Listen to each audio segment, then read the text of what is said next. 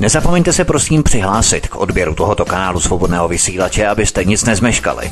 youtube.com lomeno c lomeno radio sv studio tapin radio. Dejte si prosím odebírat tento kanál kliknutím na červenou ikonku v horní pravé části obrazovky s nápisem odebírat a zaškrtněte také symbol zvonečku, abyste byli informovaní o nahrání každého nového pořadu. Tím také nepřijdete o čerstvé premiéry a rozmanité kauzy, které můžete dále sdílet na sociálních sítích.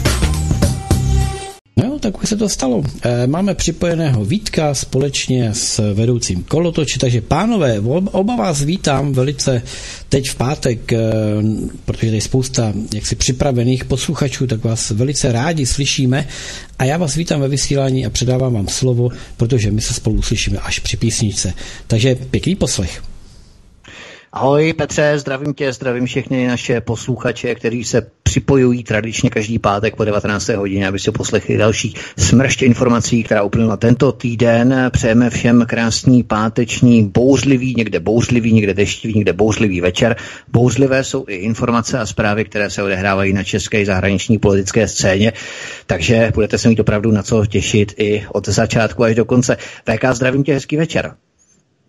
No, ahoj Vítku, ahoj Petře, já vás zdravím. Zdravím všechny naše posluchače, všechny naše čtenáře. Pustíme se hned do prvního tématu. Začínáme skoro se jako obvykle pozdě, takže už možná tradičně, takže já vám přeji krásný večer a pustíme se do prvního tématu. Běloruská tajná služba zachytila telefonické hovory z České republiky, které měly organizovat protesty v běloruských ulicích po zvolení Alexandra Lukašenka. Podle zdrojů běloruské tiskové agentury Belta mělo jít o zaměstnance státního média a pracovníky České ne- mezinárodní neziskové organizace, bez uvedení konkrétních jmen nebo názvů. Vedou stopy k českým veřejnoprávním médiím a k člověku v tísni. V Bělorusku se schyluje k Majdanu na ulicích. V Minsku vyrůstají barikády, ale běloruský prezident varuje, že nepokoje v zemi organizují síly nejenom ze západu, ale i z Moskvy. Zjistilo se už něco víc VK v rámci té české stopy, protože tady můžeme rýsovat eh, zase napojení přes člověka v tísni na americký USA, ta americký net. Američané klasicky přímo nezasáhnou, ale popíchnou prostředníka, aby on zasáhl. To je takový ten typický postup a líní do něj peníze. A právě jsme zaznamenali prohlášení Andreje Babiše, který se nechal slyšet několik hodin potom, co odletěl pan Pompeo z České republiky, Mike Pompeo, takže uh, volby by se měly v Bělorusku, uh, Bělorusku zopakovat. To znamená, že Babiš, Andrej Babiš horko těžko vypráskal pátou kolonu milionového chlívku z České republiky a stejnou pátou kolonu neziskového ranku podporuje v Bělorusku. Je to taková velká změna a odklon, Andrej Babiš sice možná je konceptuálně gramotný, jak my říkáme, ale prostě přijal od Méka Pompea noty zřejmě po jeho odjezdu a ta retorika jeho je velmi, jak si mnohé lidi velmi zaskočila. Jak bys to komentoval? Tak mě eh, zaskočila především reakce mainstreamových novinářů a dokonce i těch alternativních, protože eh, příjezd i odjezd Mikea Pompea eh, identifikovali a vyhodnotili naprosto milně na, s obrovským, řekněme, konceptuálním omylem, který doslova až zvoní do uší a mlátí do očí, protože Mike Pompeo přijel a vyrozdal samozřejmě noty, které se týkají plánu na obklíčování Ruska přijel s hotovými notami na otázku nebo s otázkou Běloruska. Jakmile odjel, co se stalo? Andrej Babiš iniciativně zvedl telefon, zavolal polskému premiérovi a začali spolu dohadovat svolání mimořádného zasedání Evropské rady. Když spolu dotelefonovali, tak předstoupil před média Andrej Babiš a řekl, že vyzývá Bělorusko k opakování prezidentských voleb.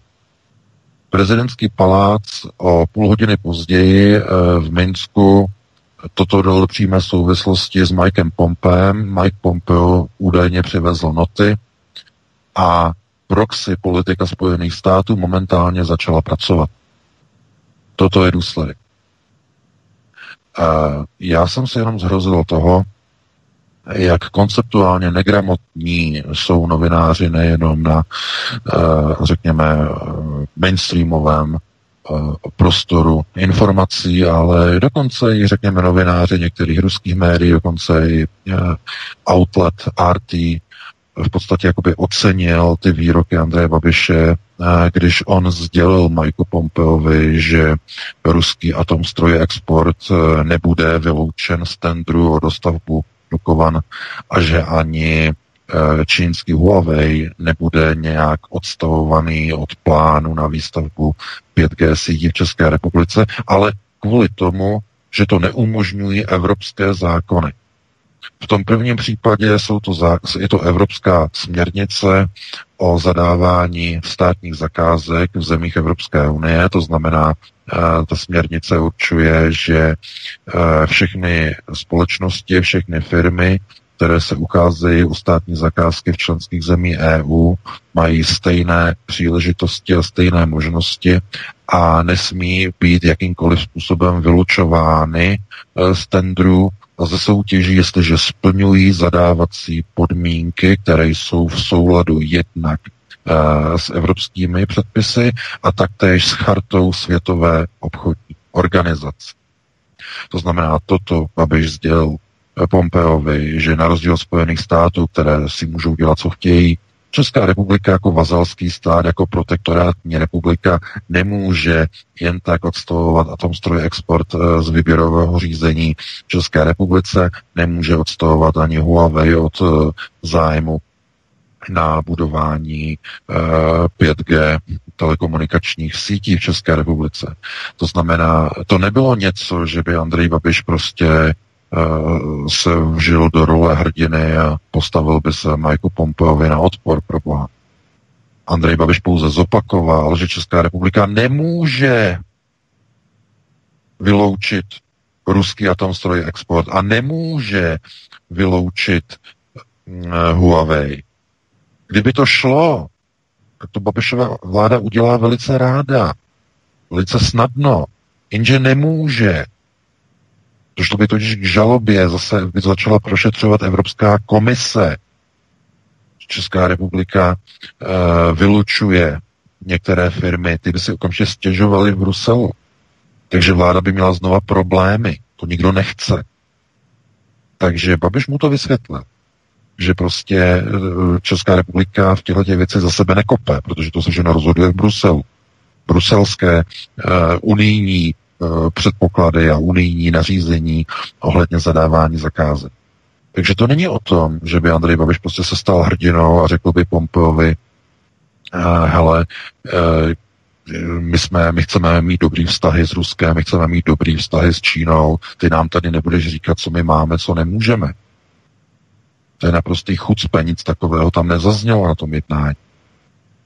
Takže Eh, to je jedna věc, důležitá věc. To znamená, že před voliči to vypadá takovým tím způsobem, jako že voliči teď mají radost, že Andrej Babiš de facto jako vypoklonkoval uh, Majka Pompea, ale on ho nevypoklonkoval, on mu pouze řekl faktický stav věcí, že Česká republika nemůže ten krok vyloučení ruských a čínských společností z tendrů v České republice udělat, protože by to bylo v rozporu se směrnicemi Evropské komise.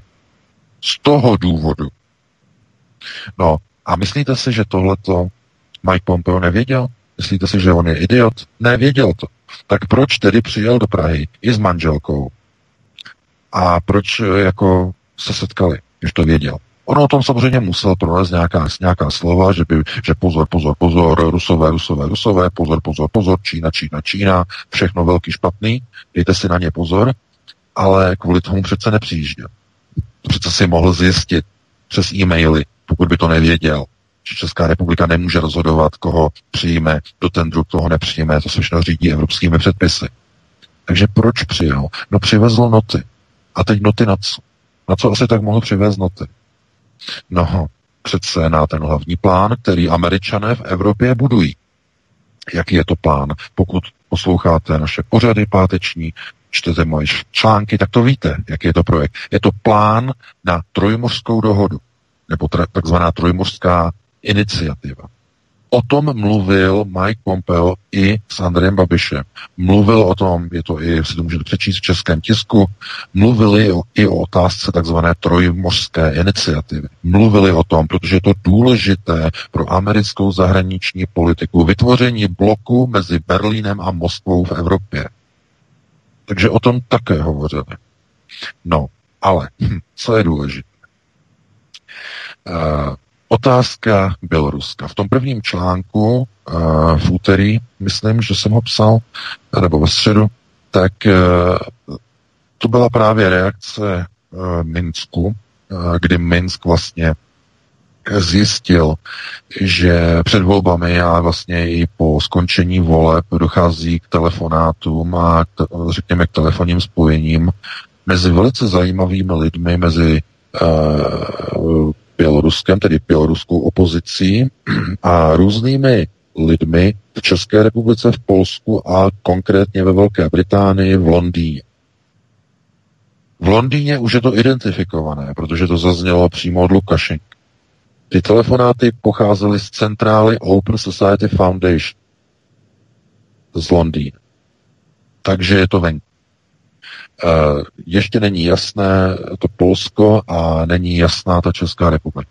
Se snažíme to zjistit, které dva subjekty v České republice to byly, protože uh, vlastně uh, Lukašenko to potom v rozhovoru pro běloruská média rozebral a uh, tam vlastně mluvil, že se jedná o státní médium, což je samozřejmě chyba, protože v České republice státní média nejsou, ale měl asi na mysli veřejnoprávní, předpokládám. A e, jedna, on, on řekl mezinárodní, česká mezinárodní nezisková organizace. No, e, kolik je v České republice mezinárodních e, organizací?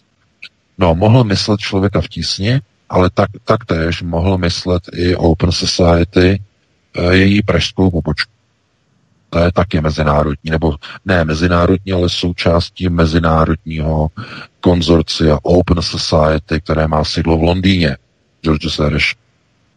Takže jedno nebo druhé. A to zatím není jisté.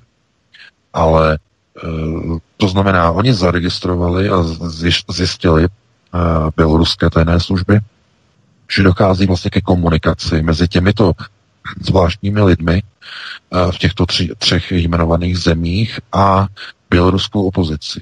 Že jim říkají, co mají dělat, jaké transparenty, jaké tam mají být hesla a hlavně, jaké mají mít požadavky na vládu. To znamená seznam instrukcí, jaké ti Bělorusové ani neví, co během těchto barevných revolucí mají žádat po své vládě, protože oni ani neví, neví, netuší, za co by měli demonstrovat, nebo jaké by měli klást požadavky. Oni neví, oni to netuší. Takže oni vlastně ani neví, za co demonstrují. To znamená, oni ví jenom jedno, že třeba se jim nelíbí výsledek voleb, ale už nerozumí tomu, jak tu krizi využít ke svrhnutí režimu v Bělorusku. To už neví. Chápete? To už neví. To znamená, k tomu potřebují instrukce. A globalčiky jim je poskytnou velice rádi. Nachází se v České republice, nachází se v Polsku, nachází se v Londýně. A proč tenhle ten proces se objevuje v roce 2020 v Bělorusku? Protože na Ukrajině už je hotovo. Pokud se, o to, pokud se budete na to dívat jako, že, že proces řízení a na Ukrajině je hotovo. A oni potřebují pořešit Gerasimovu doktrínu. Eh, takzvaná Gerasimova doktrína, to je obraná doktrína Ruské federace. To znamená doktrína, která uh, bere do úvahy geopolitickou situaci a nastavuje bezpečnostní rozmístění ruské armády na svém území, poziční, takovým způsobem, aby dokázalo velice rychle reagovat na případný útok. Moskva si nemůže dovolit ztrátu Běloruska. Myšleno spojenectví toho těsného, které tam dosud nějakým způsobem funguje. Nemůže si to dovolit. Pokud by k tomu došlo, Vladimir Putin skončí ve funkci prezidenta Ruské federace do 6 měsíců. Tohle to už se začíná šířit na ruský alternativ. Je to hotový. Tam se hraje o Putina v Minsku. Pokud tohle to někdo nechápe na alternativě, tak já můžu říct, anebo můžu jenom zopakovat Jakinovské, je to bíly. V Minsku se hraje o setrvání Putina v Moskvě. Když padne Bělorusko, padne Gerasimová obraná doktrína Ruské federace a bude připravený pozemní útok západních vojsk NATO na území Ruské federace. V tom okamžiku, když padne Bělorusko.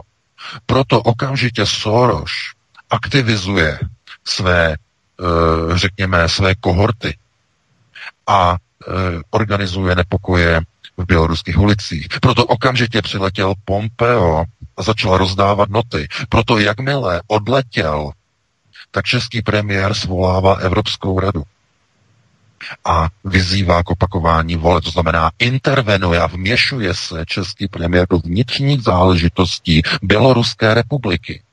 Je to přímý útok na svrchovanost Běloruské republiky. Chápete, k čemu dochází? Uvědomujete si to vůbec někdo? Několik hodin poté, co největší americký jestřáb Mike Pompeo odletěl z ruzinského letiště, český premiér začíná dělat podle not proxy politiku namířenou na likvidaci a na svržení běloruského prezidenta. To je něco neuvěřitelného. A já si potom připadám jako úplný idiot, když si na jednom nebo na dokonce na více, na dvou serverech České alternativy přečtu chvalospěvy na Andreje Babiše, že takzvaně, že prý se postavil Pompeo. Takový chucpe. To znamená, znovu jsme u toho. Já už někdy si říkám, že moje práce je zbytečná, úplně zbytečná. Lidé nejsou konceptuálně gramotní, Nepomáhá to, můžeme o tom tady mluvit nahoru a dolů. Lidé nerozumí a nechápou, co se okolo nich děje. Nejsou schopní si spočítat jedna a jedna. Nejsou. Situace, která uh, v podstatě teď vyústila i, my se k tomu možná ještě dneska dostaneme, možná jste zaregistrovali, že Spojené arabské emiráty uzavřeli příměří a dohodu navážou diplomatické styky s Izraelem a Turecko oznámilo, že pokud tomu dojde, tak uh, ukončí všechny diplomatické vztahy se Spojenými arabskými emiráty. To znamená, to je přesně, má to přesně tu souvislost, k čemu právě dochází v Bělorusku proč, jakou na to teď není často vysvětlovat. Možná, že se k tomu dostaneme. Jakou to má spojitost i s americkými volbami, které, které budou 3. listopadu. To znamená, o co vlastně vůbec se hraje. A e, v této chvíli se jenom ukazuje, že někde jsou nějaké důležité procesy, které běží. To znamená, probíhají. Konceptuální gramotnost znamená chápat věci a chápat souvislosti, střípky událostí, ke kterým dochází a schopnost dávat si je dohromady. Takže znovu, ještě to jednou zopakuji, aby vám to pomohlo. To znamená, přímo za ručičku vás teď povedu.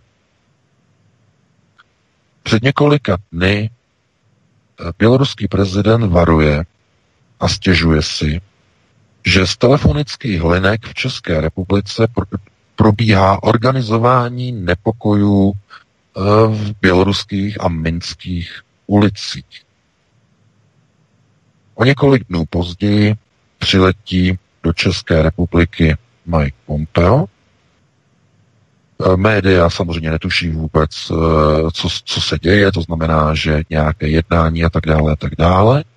On odletí a několik hodin poté český premiér začíná horečně telefonovat s jednotlivými premiéry evropských zemí, začíná z vlastní iniciativy svolávat mimořádné zasedání Evropské rady a vyzývá Bělorusko a běloruský režim k opakování prezidentských voleb. Tohle to jsou všechno souvislosti, které si lidé musí být schopni dávat postupně do jedné souvislosti a začít rozumět tomu, k čemu dochází ve skutečnosti nikoli na základě mainstreamových titulků, mainstreamových novin a televizí. To je konceptuální gramotnost.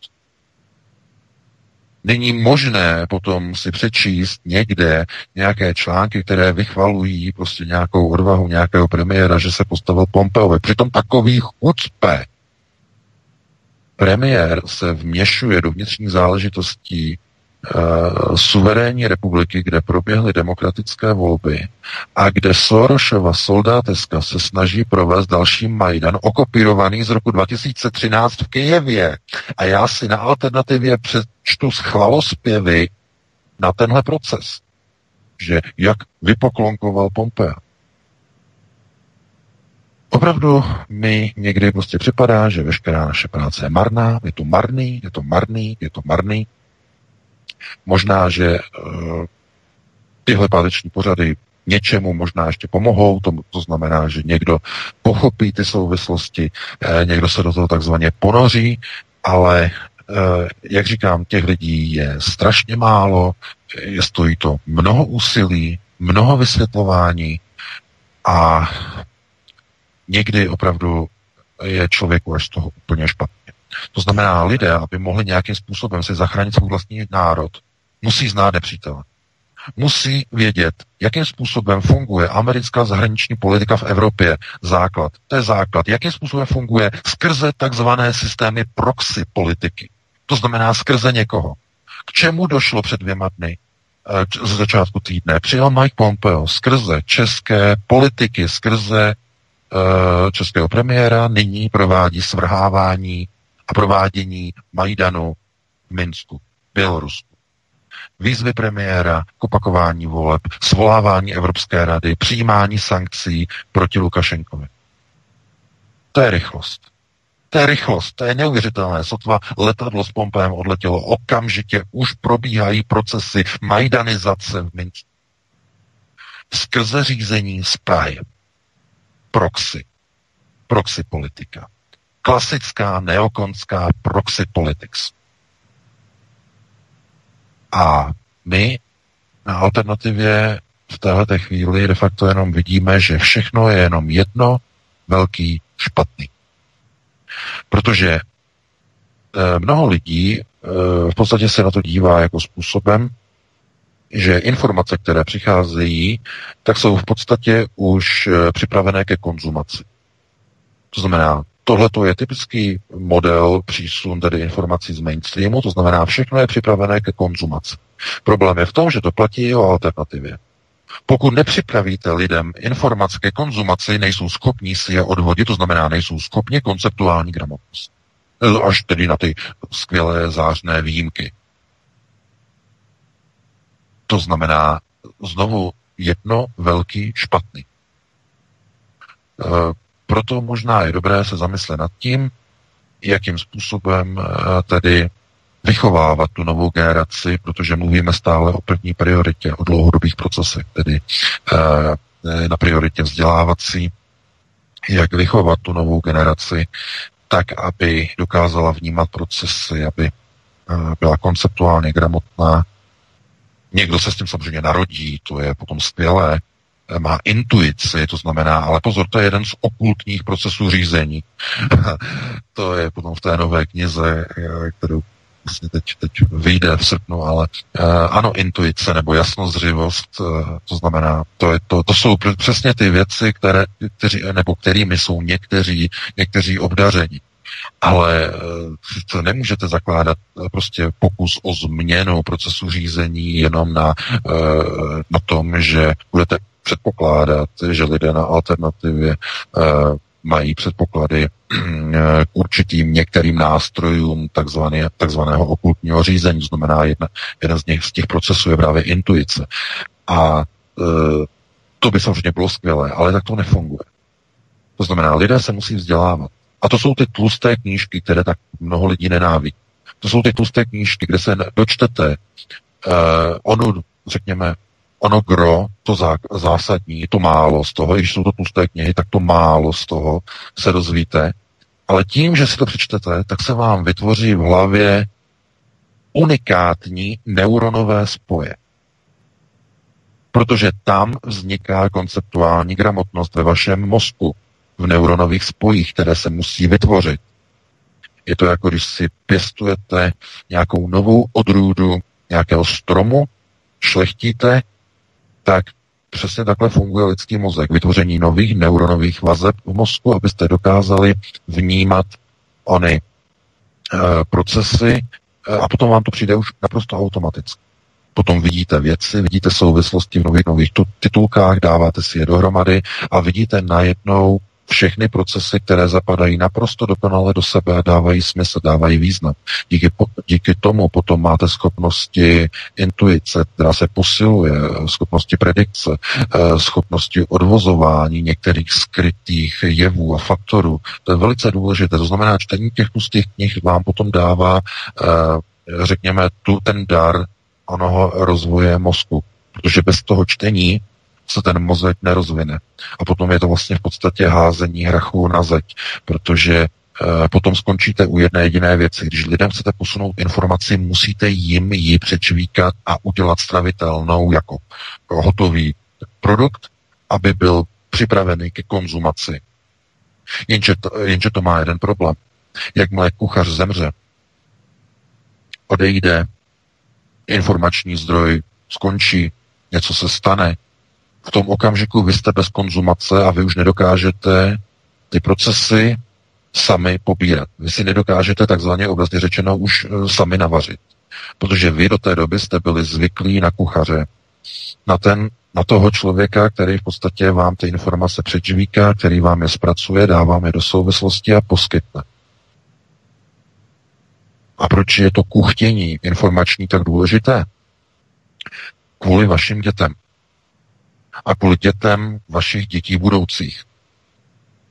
To je přesně ten uh, proces, kdy, nebo který zajišťuje a nabízí skutečnou změnu v budoucnosti. To znamená záchranu jednotlivých národů.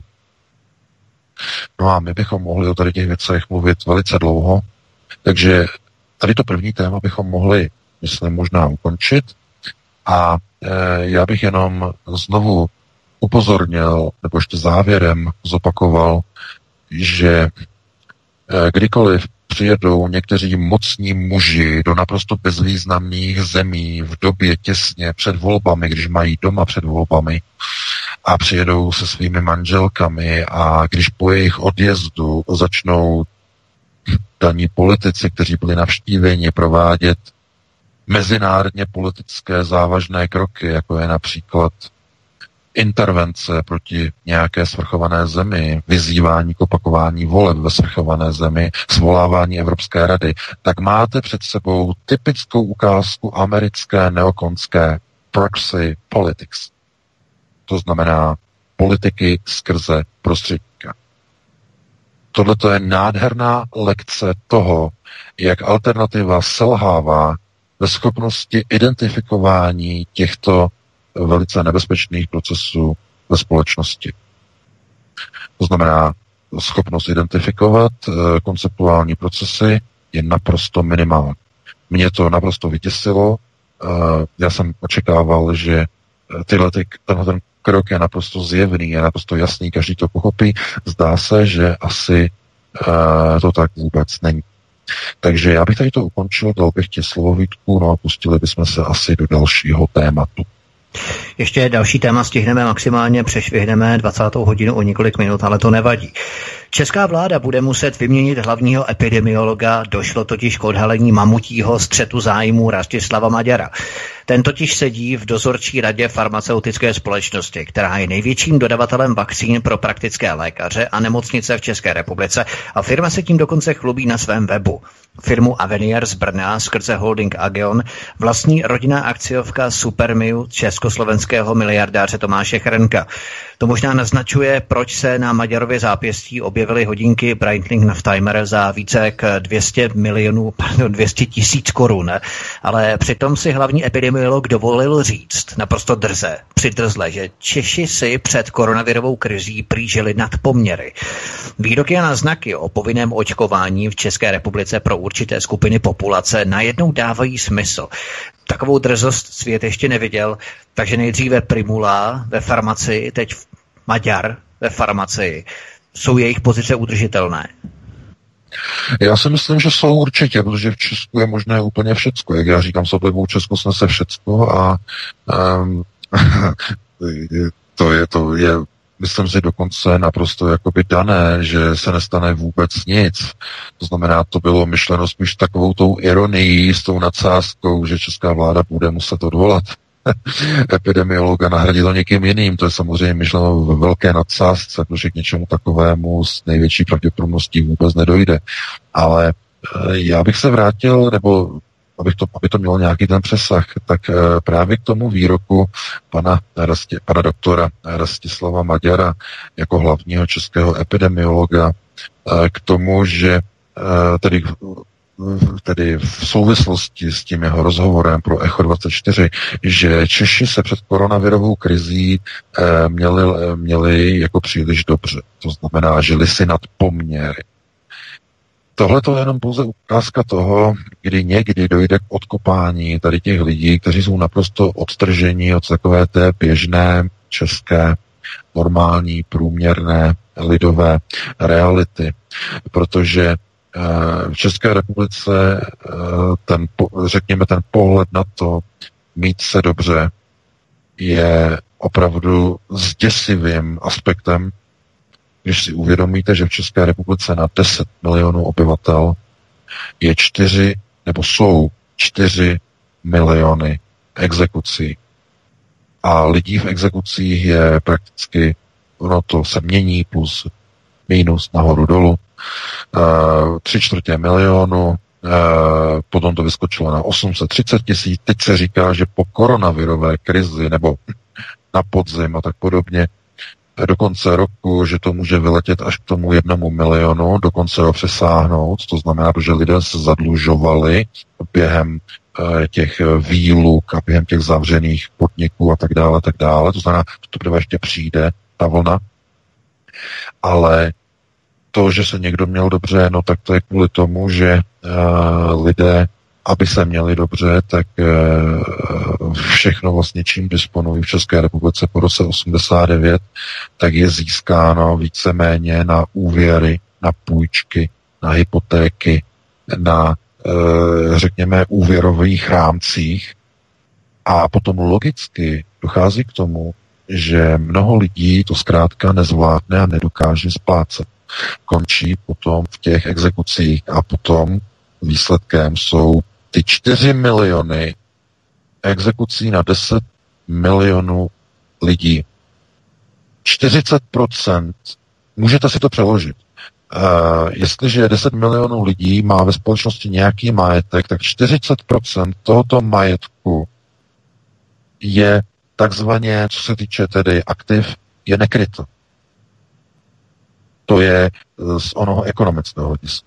40% aktiv, nekrytých aktiv eh, v jakékoliv společnosti by eh, vedlo k vyhlášení platební insolvence. Jinými slovy by to znamenalo, že na výplatu zaměstnance na každých jeho 100 korun, kterému vyplatíte, si 40 korun musíte půjčit. 40 korun na výplatu není vašich, není vaší firmy, e, někde to musíte prostě zkrátka získat. A tohleto, že v České republice je toliko exekucí a e, že e, lidé si musí půjčovat, aby uspokojili své základní potřeby, tak to je důsledek toho, co bylo přijato po roce 89 jako hlavní role a úloha Československa, později tedy rozděleného na dvě republiky, po roce 89. Co je tedy úkolem, co je cílem té republiky? Cílem té republiky je protektorát. Vytvoření laciné montovny azijského střihu, kde i 31 let po sametové, kabátové eh, revoluci, kdy Václav Klaus v roce 90 sliboval, že do deseti let se budou mít lidé v České republice dobře jako v Německu. Možná si pamatujete, že budou srovnány platy do deseti let. V roce 90. Bylo to 14. dubna ve zprávách. Tehdy, 14. dubna 1990. Měl ve zprávách, když televize a e, tvrdil do deseti let, do roku 2000, že budou srovnány platy e, tehdy v ČSFR nebo později tedy v České republice e, z Německa. Otázka pro blbé. Uběhlo 31 let. Jsou v České republice srovnány platy s Německem? Nejsou. A co, a co hůř? V České republice nejenom, že platy nerostou, oni dokonce reálně klesají. To mimochodem uh, zjistila i americká banka JP Morgan, která před dvěma lety uh, přemístila Českou republiku ze skupiny rozvinutých zemí do skupiny zemí rozvojových, rozvojových, jako je Větnam, jako je Angola, Namíbie a další. Důvodem je klesající hodnota reálných mest České republice. Jinými slovy, co to znamená? Nezáleží na tom, kolik nominálně berete, ale kolik si za to koupíte. To je ona reálnost. A na reálnosti mest se podílí zdražování především těch hlavních subjektů a řekněme, můžeme říkat hlavních aktiv, eh, které si lidé jakoby pořizují s cílem vlastně ty a mít je v podstatě eh, pro kvalitu, základní kvalitu svého života. To jsou samozřejmě nemovitosti. Kvůli tomu, že v České republice po 31 letech neexistuje jediný zákon v české legislativě na ochranu trhu s nemovitostmi v České republice, neexistuje žádná právní úprava, která by zakazovala spekulace s nemovitostmi, spekulace s neobsazenými, s prázdnými byty. Tohle to všechno e, mají všechny vyspělé země. Dokonce i ve Spojených státech, kde je velice volný trh, tak existují Eh, takzvané systémy ochrany proti spekulacím s nemovitostmi. To jsou takzvané vyčleněné byty, které jsou určeny pro americký welfare system. Americký welfare systém nabízí v jednotlivých městech eh, v rámci jednotlivých měst eh, sociální bydlení. V těch sociálních bydleních jsou federálními zákony regulované nájmy, to znamená i taková, řekněme, tvrdě kapitalistická země, no, jako je jsou Spojené státy, tak mají tyto zákony samozřejmě eh, proti spekulacím s určitými typy v určitých lokalitách, eh, aby zkrátka to nevytvořilo, nevytvořilo eh, onen proces obrovského propadu místních reálných mest.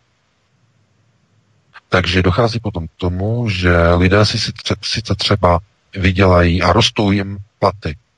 To znamená, rostou jim platy, třeba v té Praze rostou platy lidé mají pocit, rostou nám platy, máme se dobře. A oni potom ty peníze vezmou a oni si za to chtějí něco koupit, koupit třeba byt a oni zjistí, že jim to vůbec nestačí na to, aby vůbec na tu hypotéku dosáhli. Oni zjišťují po 31 letech, že i když nominální hodnota těch výplat roste, tak reálná hodnota nedostačuje už ani na to, aby si mohli vzít hypotéku do prkínka práce. Chápete? Tohle to s váma nosatí udělali po 31 letech. Z vaší zemí, z vaší republiku. ČNB. Přesně tohleto. Neustále držení české koruny dole, dole, dole, aby kurz byl co nejnižší, aby takzvaně to bylo proexportně. Kdo vlastní jednotlivé proexportní firmy? No, aby měli zisky automobilky, že Volkswagen, aby měl jako výrobce značky Škoda, tak aby eh, že jo, bylo laciné vyrábění a vyvážení sem do Německa eh, a do ostatních zemí. To znamená, aby byla koruna podhodnocená.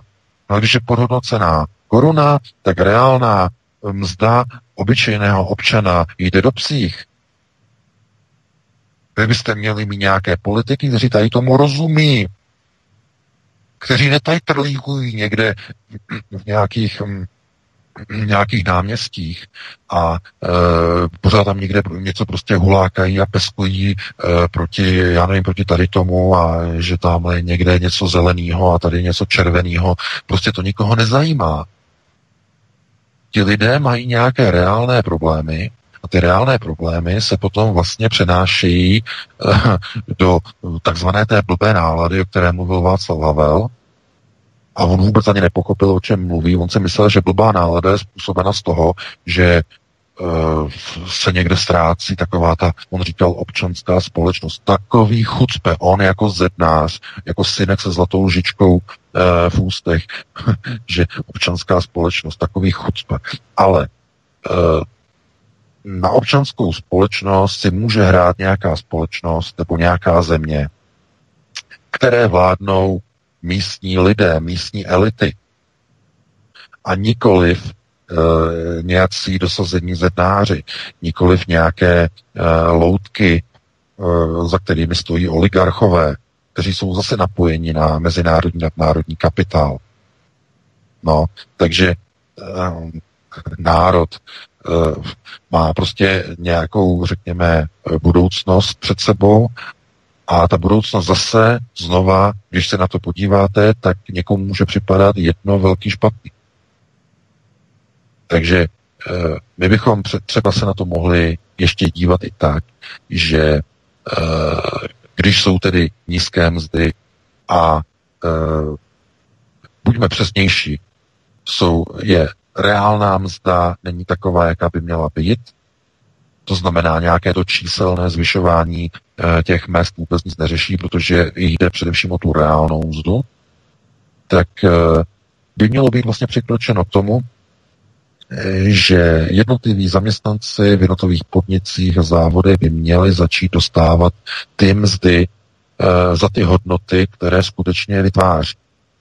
To znamená, neměli by dostávat, já nevím, za nějakou pozici co berou třeba nevím, 25 tisíc hrubého, ale měli by brát odpovídající plat, eh, který je vlastně po 31 letech odpovídající cenám, nakolik vzrostly od roku 89 eh, v celé České republice.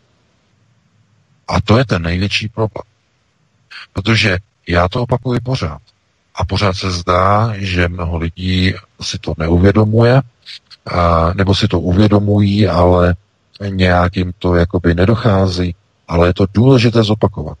Jestliže za 31 let došlo k vyrovnání a srovnání všech cen produktů, výrobků, zboží a služeb v České republice, včetně cen nemovitostí, bytu, nájmu, potravy, oblečení, paliv, energií, tak byste očekávali, že když za těch 31 let se všechny tyto vyjmenované komodity a položky cenově srovnaly na trhu s tady Německem a obecně se Západem,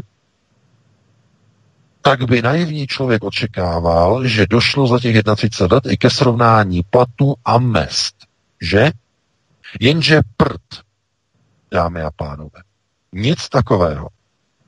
Oni vás okradli, oni vám všechny asety takzvaných státních národních podniků, všechno vytunelovali a teď mají tu drzost po dobu 31 let vás držet na čtvrtinových mzdách, přičemž všechny ostatní ceny, a to je tajemství, to se nesmí nikdo dozvědět, všechny ostatní ceny jsou vyrovnané a srovnané.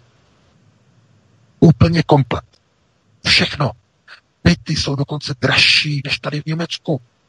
Potraviny máte o 5 až 7% dražší než tady v Německu. To je tajný, se nikdo nesmí dozvědět. Vůbec, nikdy. Takže doufám, že tomu rozumíte. V tomhle tom žijete. 31 let. A očekávali byste, že když bude nějaká odpovídající parlamentní strana někde u moci, že označí vyníky. Označí nadnárodní židovský komitét, Dům Rothschild, který nařizuje ČNB podhodnocovat hodnotu české koruny a tím držet úroveň reálných českých mest po dobu 31 let v České republice na úrovni čtvrtinových platů ve srovnání s Německem, ve srovnání se západními zeměmi. Který z politiků z té alternativy je má tu odvahu zaútočit na ČNB, označit nosaté za tento proces genocídy obyčejných dělníků, obyčejných lidí, potom se někdo diví, že tam máte 4 miliony exekucí na 10 milionů obyvatel do prkínka práce? Potom se tomu někdo diví?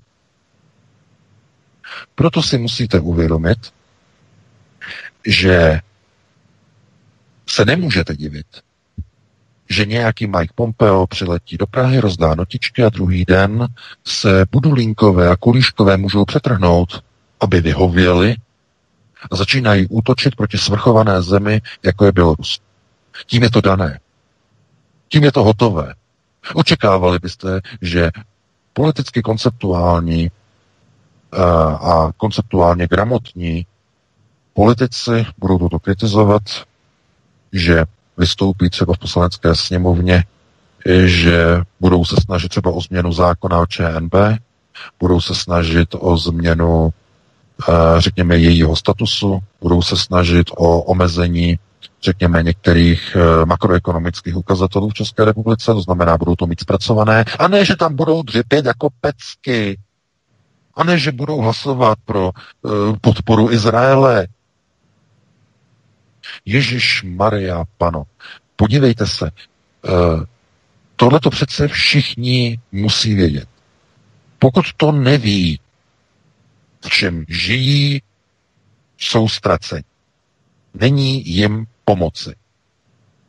Víte dobře, že uh, v polovině 30. let ministr, říšský ministr říšské propagandy uh, Josef Goebbels prohlásil o bolševicích, že, nebo o bolševismu, že uchvátí-li tě, zahyneš. Problém je v tom, že Goebbels to úplně nepochopil. Tam totiž nemělo být bolševismus. Tam mělo být sionismus. Uchvátí-li tě, zahyneš.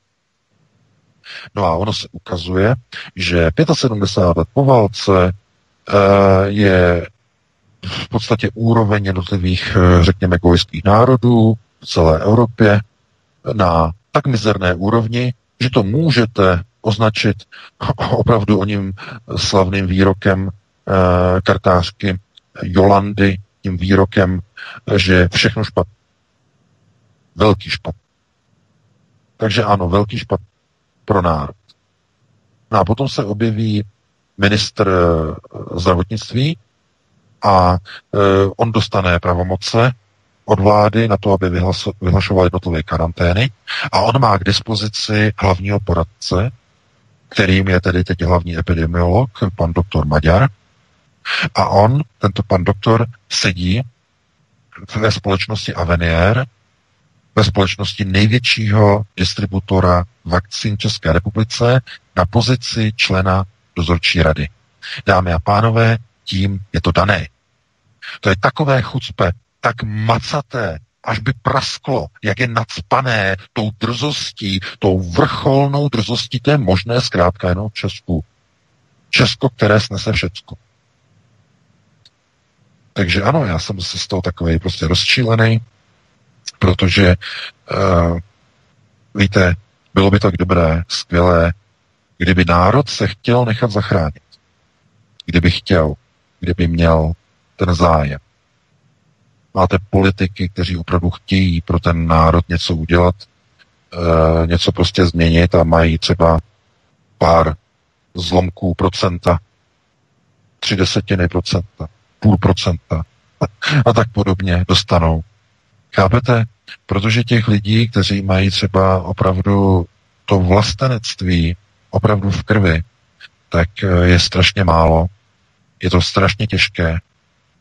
A když chtějí potom dělat nějakou, řekněme, velkou politiku, tak je to strašně svádí a strašně nutká k tomu, aby začali dělat kompromisy a začali dělat, řekněme, tady ústupek, tamhle ústupek, tohle, tamhle, tady ustoupím, tamhle ustoupím. E, takhle zkrátka vidíte, jak dopadla také jedna nejmenovaná, jediná údajně vlastenecká strana. To znamená vystoupení z EU, vystoupení z NATO, potom jenom reforma EU. Už žádné vystupování z NATO.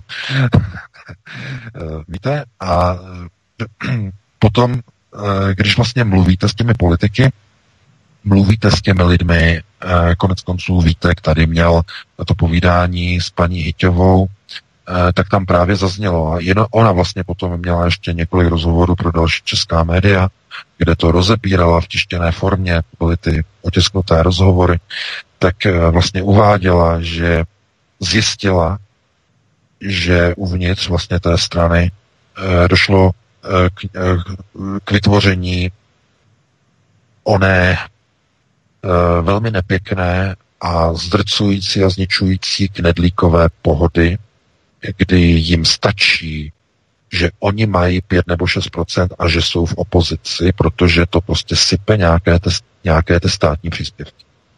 Každý rok. Není snaha se posunovat dál v té politice. A teď je úplně jedno, jestli ta snaha posunovat se dál je myšlená ve, sta- ve snaze eh, prosazovat eh, více mainstreamové politiky, více se mainstreamizovat, anebo je to eh, ten smysl více a více se posunovat v prosazování pro národních vlasteneckých tezí, což asi není zrovna ten případ té strany, asi o které víte, o které mluvím. To znamená, že když se ukáže, že někteří lidé vidí a nelíbí se jim, že některá strana zůstane někde v nějaké pozici, už nemá snahu o nějaký rozvoj, protože to, co máme, to máme.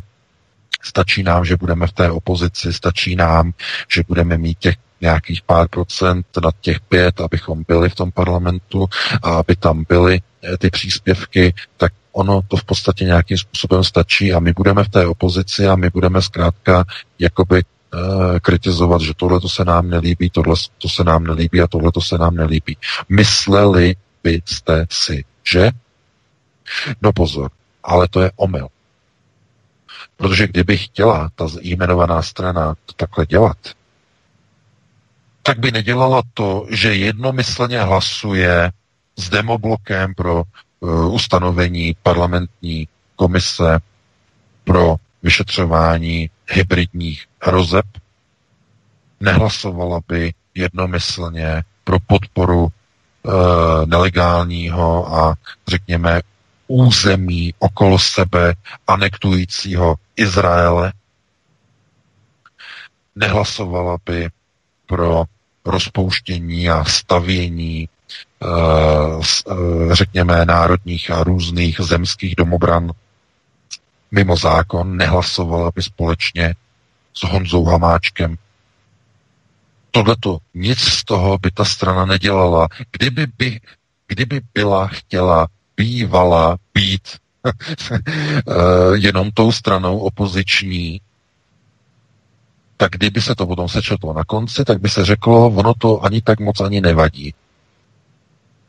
Kdyby ta strana byla opravdu v té pozici, že my s nikým nikam nepůjdeme, my se na žádných čachry, machry podílet nebudeme, my nebudeme se podílet na žádných e, zákonech, které v podstatě likvidují e, jednotlivé domobrany, my se nebudeme podílet na podpoře Izraele, který e, anektuje Golanské výšiny a který má v plánu anexi západního břehu. My se nebudeme podílet e, na e, ustanovování nějakých e, parlamentních komisí proti hybridním teroristickým hrozbám, které navrhují evropské hodnoty a paní Lanšádlová a Věra Jourová, jakožto členka BNI Berlitz, jako největší zednářské organizace na světě. To znamená, my proti tomu budeme bojovat. Ale my nebudeme si přece dávat zednáře do hlavní kandidátky v Praze.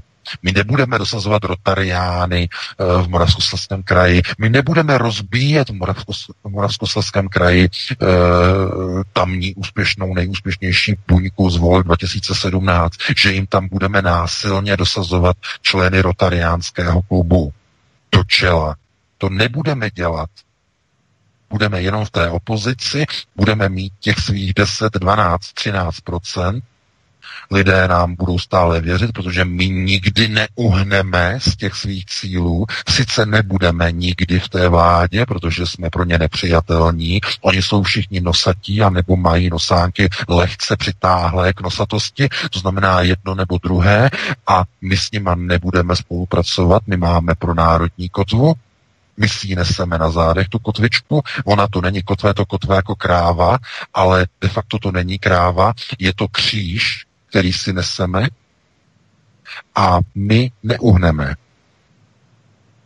Tohleto byste očekávali od strany v případě, že pojede notu čisté opozice a bude opravdu tou stranou opoziční a nebude usilo, usilovat o víc.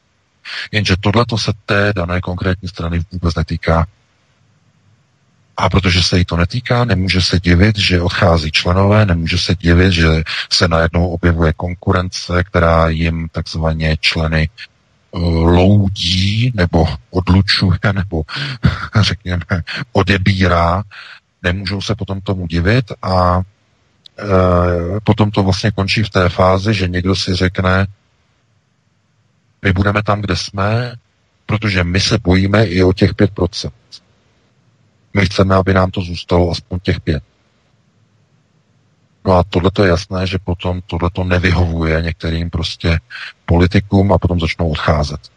To znamená, ten, ty rozhovory s paní Hyťovou si určitě přečtěte, to je, myslím si, i si poslechněte vlastně s Vítkem, ale e, obecně tedy platí, že e, společnost de facto je tady tím způsobem jakoby nějak převrácená do nějaké pozice, kde ani nechce se nechat zachránit, protože e, de facto čeká na nějakého mesiáše, který ji zachrání místo ní. Nic takového ne- neexistuje, nebo nic takového nikdy nebude existovat. No a Eh, právě jsme se dostali jakoby až sem od uh, samotného pana Maďara, to znamená pana epidemiologa. A ono to má jedno, jeden přesah a jednu souvislost. Ta souvislost právě vlastně se odvíjí od toho, že po roce 89 nejsou v České republice žádné vlastenecké kádry. Ty skutečné, opravdové, které by měly podíl na moci v ČR, po roce 89. Protože ty kádry, které tam jsou, jsou po celou dobu čistě a pouze mimo parlamentní. A to oni si umí zajistit ti, kteří ten systém po roce 89 nastavili. Protože pokud ten nosánek nejde směrem k, tak nemáš nárok. Nejsi jejich, a nedostaneš se. Konec konců o tomhle tom by mohl uh, mluvit pan uh, Hofer, že opakování voleb prezidentských v Rakousku, jak mu to všechno sebrali a tak dále, to znamená, nebylo připuštěno, nebylo dovolen. No a aby tady ty věci neprobíhaly, ta společnost se musí změnit. Musí se změnit od základu, od rodiny. Rodina musí vychovat nový volební elektorát. Je to běh na dlouhou trať a vyžaduje to právě tu konceptuální gramotnost, která zkrátka chybí, která není, která se získává jednak na alternativě, ale jednak a zejména čtením těch tlustých knih. E, nejsou to příjemné informace, e, nejsou to informace, které by e, měly nebo nabízely nějaké rychlé řešení, to bohužel takhle nefunguje. Každopádně my máme 2020, musíme si dát krátkou přestávku aspoň 5-6 minut, protože mě úplně vyschlo v puse Vítku a vrátili bychom se potom do konce hodiny s dalším tématem. Jasně, máme ještě dvě témata VK, která musíme probrat během zbývajících minut do 21. hodiny. Takže Petře, dáme si pauzu, posloucháte svobodný vysílač od mikrofonu a zdravý Vítek, spolu s námi je tu Petr Václav a hlavním protagonistou dnešního večera je šéf-redaktor alternativního zpravodajského serveru Aeronet.cz pan VK. Písnička na cestě, po ní pokračujeme dál. Příjemný večer a děkujeme vám za poslech. Nezapomeňte se prosím přihlásit k odběru tohoto kanálu svobodného vysílače, abyste nic nezmeškali. youtube.com lomeno c lomeno radio sv studio tapin radio. Dejte si prosím odebírat tento kanál kliknutím na červenou ikonku v horní pravé části obrazovky s nápisem odebírat a zaškrtněte také symbol zvonečku, abyste byli informovaní o nahrání každého nového pořadu. Tím také nepřijdete o čerstvé premiéry a rozmanité kauzy, které můžete dále sdílet na sociálních sítích. Vážení milí posluchači, posloucháte páteční pořad u Klábosnice a neb co týden dal, co týden vzal společně s Vítkem a panem VK. Takže eh, moderuje eh, Vítek, eh, odpovídá vedoucí kolotoče a supportuje Petr Václav z Midgardu. Takže vítám vás v další části. Vítku, jak jste na tom? Jste přichystáni? Já jsem na tom dobře, co týden vzal, co týden ukradl, což je taková tvá replika, která se mi líbí, takže já bych to jenom doplnil, ale jsem tady, Petře, v pohodě. Fajn. Já jsem také. No tak pánové, vy jste komplet a já se jdu zase uklidit do ústraní, je to vaše. Fajn, já potom budu za bukem tu další hodinu trošku. Tak a tedy půjdeme na další téma. Rasová karta v amerických volbách a ještě falešná. Joe Biden si vybral za viceprezidentku Kamalu Harrisovou, o které americká i česká média tvrdí, že je černoškou, ale ona je poloviční hispánkou a měla za otce Jamajčana a matku Intku. Není dostatečně černá, kritizuje jí vlastní liberální voliči z liberální strany. Proč je barva rasy najednou ve Spojených státech tak důležitá? Proč 25-letý Černoch přistoupil k pětiletému bílému chlapci a z bezprostřední blízkosti ho zastřelil ranou do hlavy? Na podzim dojde tedy ve Spojených státech k pokusu o neomarxistickou listopadovou revoluci. Tak je vidět, že se to i samotným liberálům vymklo s rukou a když není nikdo příliš černý, tak i to je špatně. V podstatě ta situace je tam absurdní. Ano, ano, je naprosto absurdní a e, daleko horší je, že v podstatě ten, ten proces předpověděla e, i německá kapela Rammstein e, ve své sklepě e, Deutschland. E, protože, e, no tak já o tom chystám i článek, ale to je právě protože tady ty naše pořady já chci dělat jako s přesahem, to znamená, nechci vlastně opakovat obsah těch článků na Aeronetu, trošku tam dát do toho nějaký přesah. A právě tohle to má velký přesah. E, protože to, co zaznělo, nebo vlastně v tom videu vlastně od Rammsteinu v této skladbě Deutschland, máte totiž video přímo na Aeronetu, máte analýzu toho videa, si to najděte, Eh, tak přesně tam k tomu dochází. Bílá rasa se klaní a klečí před černou královnou. To znamená před černou. No a kdo klečí teď v Americe? Kdo poklekává před černými modlami? No, Běloši. Eh, takže tam má, má spoustu přesahu, eh, ta skladba byla v podstatě programovacím videem už od začátku, ale tady se ukazuje, že oni viděli vlastně, co se stane. Akorát to bylo teda naháčkované, naroubované jako tady na Německo, ve smyslu tedy e, na Armínia, že jo, na Teutoborskou pitvu a tak dále a tak dále, ale e, obrovský přesah teď směrem do Spojených států v té skladbě. Obrovský přesah. E, no ale co je důležité? Důležité je v podstatě když se na to jako díváme z toho pohledu těch procesů, které probíhají eh, ve Spojených státech, tak eh, my vlastně jenom se jako dostáváme do nějaké situace, kdy vidíme, že celá bílá civilizace de facto se dostává do nějakého postavení, kdy je postupně likvidována.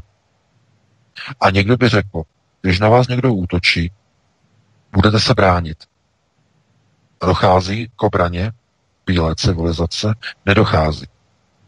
Protože ta společnost je zdegenerovaná, je neschopná už vlastní obrany. Najednou k něčemu došlo.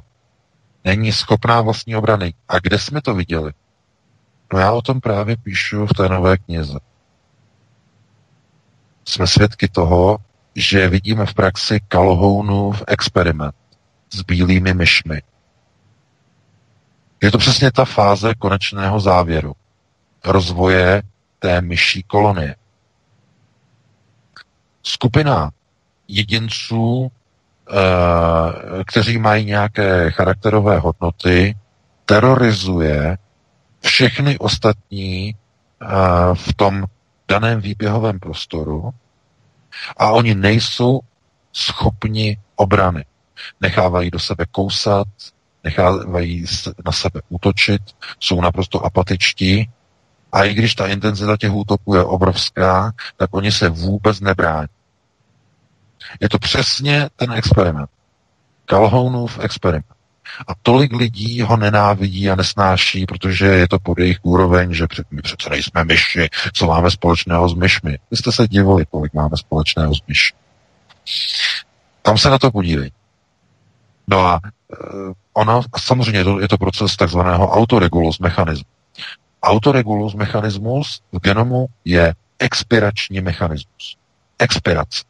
Stejně jako každá buňka má svoji vlastní expiraci prostřednictvím zkracování tzv. telomerů. E, buňky se dělí, dělí. Při každém dělení se vlastně telomery v DNA zkracují o nějakou část. Ve chvíli, kdy dojde k úplnému zkrácení telomeru, tak buňka zaniká. A nebo umírá. Tohle to platí o celém lidském genomu. A e, právě autoregulus mechanismus je popsaný ve zrychlené podobě e, v rámci onoho zhruba dvouletého experimentu, myslím, dva půl roku trval Calhounův experiment s myšmi, tak e, tam bylo ukázáno vlastně, jak to dochází vlastně do toho důsledku, e, kdy ty myši na konci už vlastně v podstatě ztrácejí hodnoty své, nebo ho, řekněme ty hodnotové rámce, jako je například schopnost obrany vlastního druhu, e, sebeobrany vlastního životního prostoru a tak dále. A když se podíváte na člověka bílého, není schopen chránit sám sebe, svoji rasu, není schopen chránit svůj vlastní životní prostor před nájezdníky, před migranty. Co to znamená? Je to autoregulus mechanismus. Mechanismus, tedy autoregulus. A e, tohle my, jako řekněme západní civilizace, jsme teď konfrontováni s tou realitou. A tihleti, kteří dělají pro globalčeky a vysílají tady ta programovací videa, oni jim dají nakouknout e, takovýto nakoukání do budoucnosti, jo? nahlížení. To znamená, oni je připojí k projektoru, oni jim promítnou nějaký obraz, dostanou pošimráno za ušima a natočí o tom nějaké video. Udělají z toho pro, eh, pro, jako společenské programy, to znamená společenské programování. A lidé potom jako na to koukají, zůstávají na to vlastně jako civě, dívají se na to a ve skutečnosti oni jenom ukazují to, co přijde. Bude to za chvíli. To znamená, ukážou něco a řeknou, bude to za chvíli. Společnost proto znovu eh, vším tím, čím prochází v Evropě, teď momentálně v této chvíli je neschopnost bílé rasy chránit svůj vlastní životní prostor i své vlastní potomky, své vlastní životní prostředí. Neschopnost ochránit vlastní kulturu před novým invazivním druhem. To znamená ochránit všechno to, co vlastně vytvořila eh, takzvaná bílá civilizace, nebo křesťanská civilizace, možná přesnější, to znamená eh, všechny ty historické události a ta kultura, vlastně, která vznikla eh, v Evropě na bázi vlastně křesťanství nebo odvozená od křesťanství, tak momentálně čelí obrovské kulturní invazy. Obrovské invazy cizích kultur, cizích etnik a přestože lidé cítí, že by těm procesům se mělo nějak bránit, tak nejsou už ochotni zajít dál a udělat ten krok, třeba navolit jinou politickou reprezentaci eh, do toho parlamentu. Protože nemusí jít přece jenom o nějaké demonstrace. Vůbec ne. Můžou navolit do poslanecké sněmovny, eh, já nevím, národní demokracii, Můžou tam navolit dělnickou stranu. Můžou tam navolit skutečně vlastenecké národovecké subjekty, které tam udělají pořádky. Jenže ta společnost už o to nemá zájem. Je to úplně stejné jako v tom Calhounově experimentu.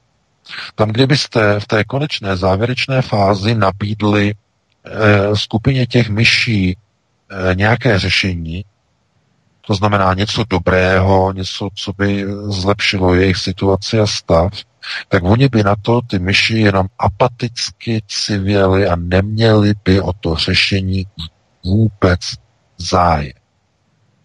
To je autoregulus uh, lidského genomu nebo jakéhokoliv genomu. De facto každý genom má svůj autoregulus mechanismus. Proč je tam ten autoregulus zabudovaný? Taky jsem dostával e-maily, že pro, proč ten autoregulus je, je vlastně v podstatě genomu nastavený. No, kvůli tomu, aby se nerozvíjel do nekonečna. Do nekonečna to by znamenalo, že eh, v podstatě člověk by jako vůbec neumíral, žádný organismus by neumíral, a tím by se vlastně zničil a zlikvidoval potravinový a řekněme rozvojový cyklus. To znamená, vždycky tam musí být tady ta pojistka, že ten v podstatě organismus nebo ten genom po nějakých iteracích, kterých může vysovat 10 nebo 20 nebo 50 tisíc, si představte 50 tisíc generací. Ale tak je třeba jenom 20 nebo 70 generací, než dojde k nastartování autoregulus mechanismu. Uh, tak uh, to zajišťuje vlastně to, že dochází vlastně k zachování něčeho, čemu se vlastně říká biologická diverzita. To znamená, něco starého zaniká, aby něco nového mohlo vzniknout. No a e, bílá rasa de facto je e, v situaci, kdy ještě by nebyla v té pozici onoho autoregulus mechanismu, protože bílá civilizace se začala velice rychle a prudce rozvíjet teprve před nějakými stolety přibližně. To není, to není dávno. A de facto by mohla růst dál a dál a dál, rozvíjet se, ale není jí to dovoleno. Proč? Protože to narušuje plán na ukotvení světové vlády do Musio. Bílá rasa by se stala příliš nebezpečnou, příliš rozvinutou, více rozvinutou, než je národ vyvolený. Což nesmí být nikdy připuštěn. Tak stojí v Talmu. Nikdy. Za žádných okolností. I proto z toho důvodu se nesmí vyprávět ve školách výuka, která jde za horizont 6 tisíc let před naším letopočtem. 6 tisíc let před Kristem. Proč? Z jakého důvodu? No, protože by to šlo za horizont eh, samozřejmě židovského časoletí. Časoletí eh, je v podstatě jejich výraz pro věk, dobu, časolet, časoletí. A židé teď píšou židovský rok 5780. Chápete už? Proto 6000 před naším letopočtem je hranice bezpečnostní, za kterou už se ve školství nesmí chodit. Na žádné škole. Nikde, v žádné zemi. Nesmí se ukazovat na procesy před rokem 6000 před naším letopočtem. Jediné, co je dovoleno, jsou různé, eh, řekněme, archeologické studie, ty mají dovoleno, ty můžou jít dál, archeologické studie, eh, některé vybrané eposy, něco, co je, řekněme, co by bylo jakoby v podstatě jako povoleno, i když hm, de facto, co, mi, co mi tak hlava bere, mám pocit, že jediné e, záznamy, písemné záznamy, které jsou povoleny, tak jsou e, v těch jeskyních v, v Anglii, e, což, nejsou, což vlastně nejsou ani, není to písmo, je to spíš takové, jsou takové ty hieroglyfy, které se datují nějak 8400 před naším letopočtem.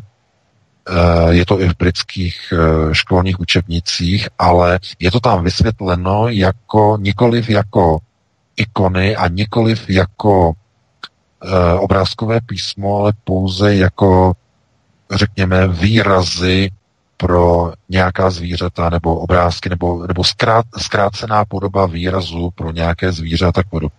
To znamená, je tam úzkostlivě dbáno na to, aby nic nebylo staršího, než je židovská kultura na této planetě. Aby se nevrtalo v tom, co, je, co bylo v době 6 tisíc před Kristem. No, o tom na tom já píšu právě v té nové knize, takže to potom budete mít rozebraný. Ale e, ta společnost vlastně de facto je takhle nastavena. No a e, někdo potom jako řekne, že přece e, když e, ta společnost za tom je tedy takhle, tak už není vlastně jí vůbec ani záchrany. by se dalo říct. Vůbec.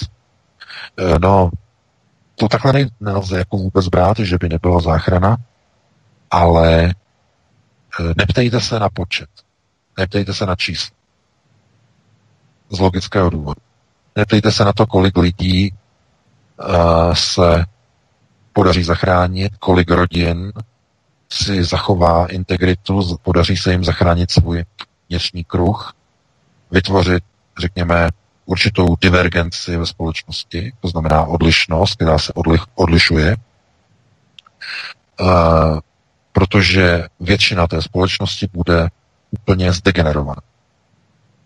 Za několik desítek let uh, se budete divit, když se na to budete dívat z pohledu třeba dnešního člověka, budete se divit a budete říkat, pane bože, co tohle to je za civilizaci tupých lidí, hloupých, zbavených veškeré inteligence, uh, úplně jakoby robotů, otroků, tupých, naprosto s nepřítomným civěním, s, s nepřítomným pohledem civění do nějaké obrazovky, nějakého mobilu, tabletu, nějaké obrazovky a přijímání instrukcí dálkově.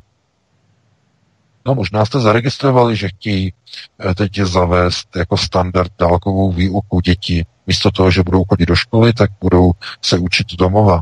Chtějí to dát do zákona v České republice. Dálková výuka. I normálně, za normálního stavu. Nejenom kvůli koroně, ale i za normálního stavu. Normálně, dálkově. To znamená, to dítě ztratí kontakt, sociální kontakt se svými vrstevníky, bude reagovat jenom přes nějaké rozhraní dálkově. A tím od malička bude programováno k sebe e, izolaci, k nenavazování styků, k naprostému odloučení a k naprostému uvázání skrze nějaké elektronické rozhraní, což je předstupeň k jedné věci, o které víte, kontrolní otázka, k singularitě. Protože to dítě, když vyroste místo s kamarádem, s kybernetickým zařízením, tak bude mít úplně jiný přístup k myšlence přenesení svého vědomí do kybernetického organismu. Mají všechno připravené. Globalčiky naprosto všechno. Nedokážete si představit, co všechno mají nachystané.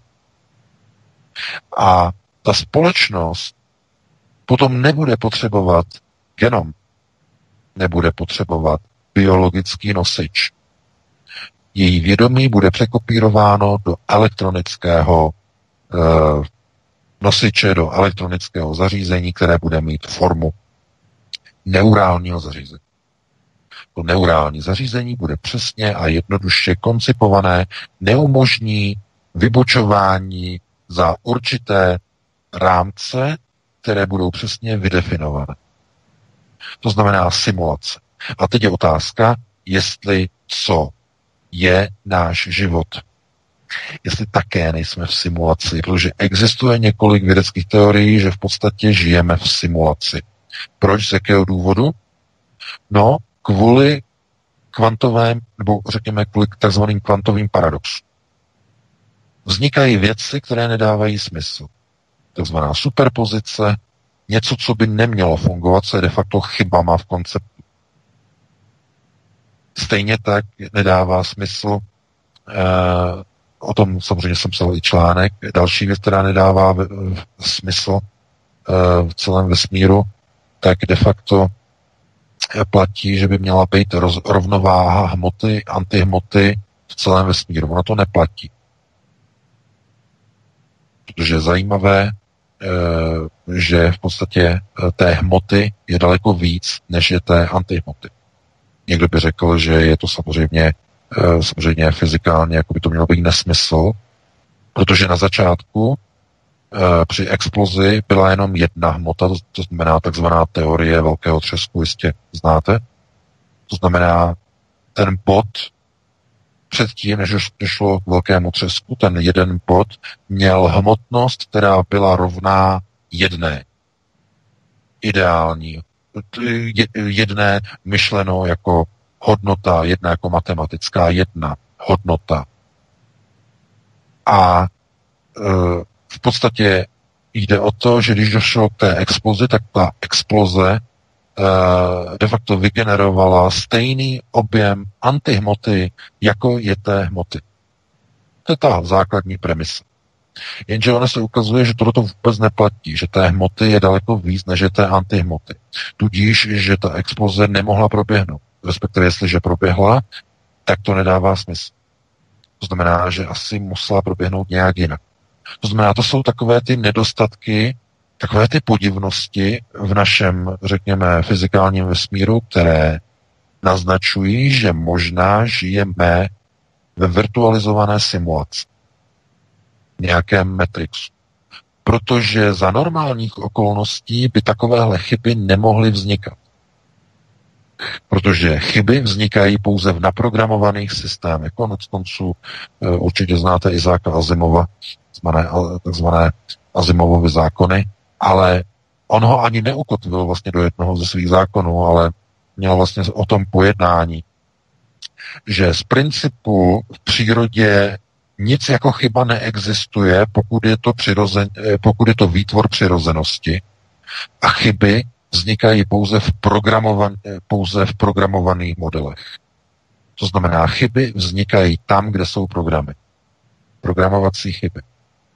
No a jelikož vidíme chyby okolo sebe v podstatě v celém vesmíru, vidíme věci okolo sebe, které vyvolávají chyby, jistě znáte chyby právě, eh, jako je eh, typ chyby, jako je deja vu, chyba, nebo právě tedy ta nerovnost mezi hmotou a antihmotou, určité časoprostor, časoprostorové paradoxy, superpoziční anomálie a tak dále, zdvojení hmoty, to znamená, to je vůbec velice děsivá událost vlastně v kvantové fyzice, v takzvaném kvantovém poli, kdy jeden objekt se zhmotní v části vesmíru a ten samý se vygeneruje v jiné části vesmíru a existují současně v jedné časové linii.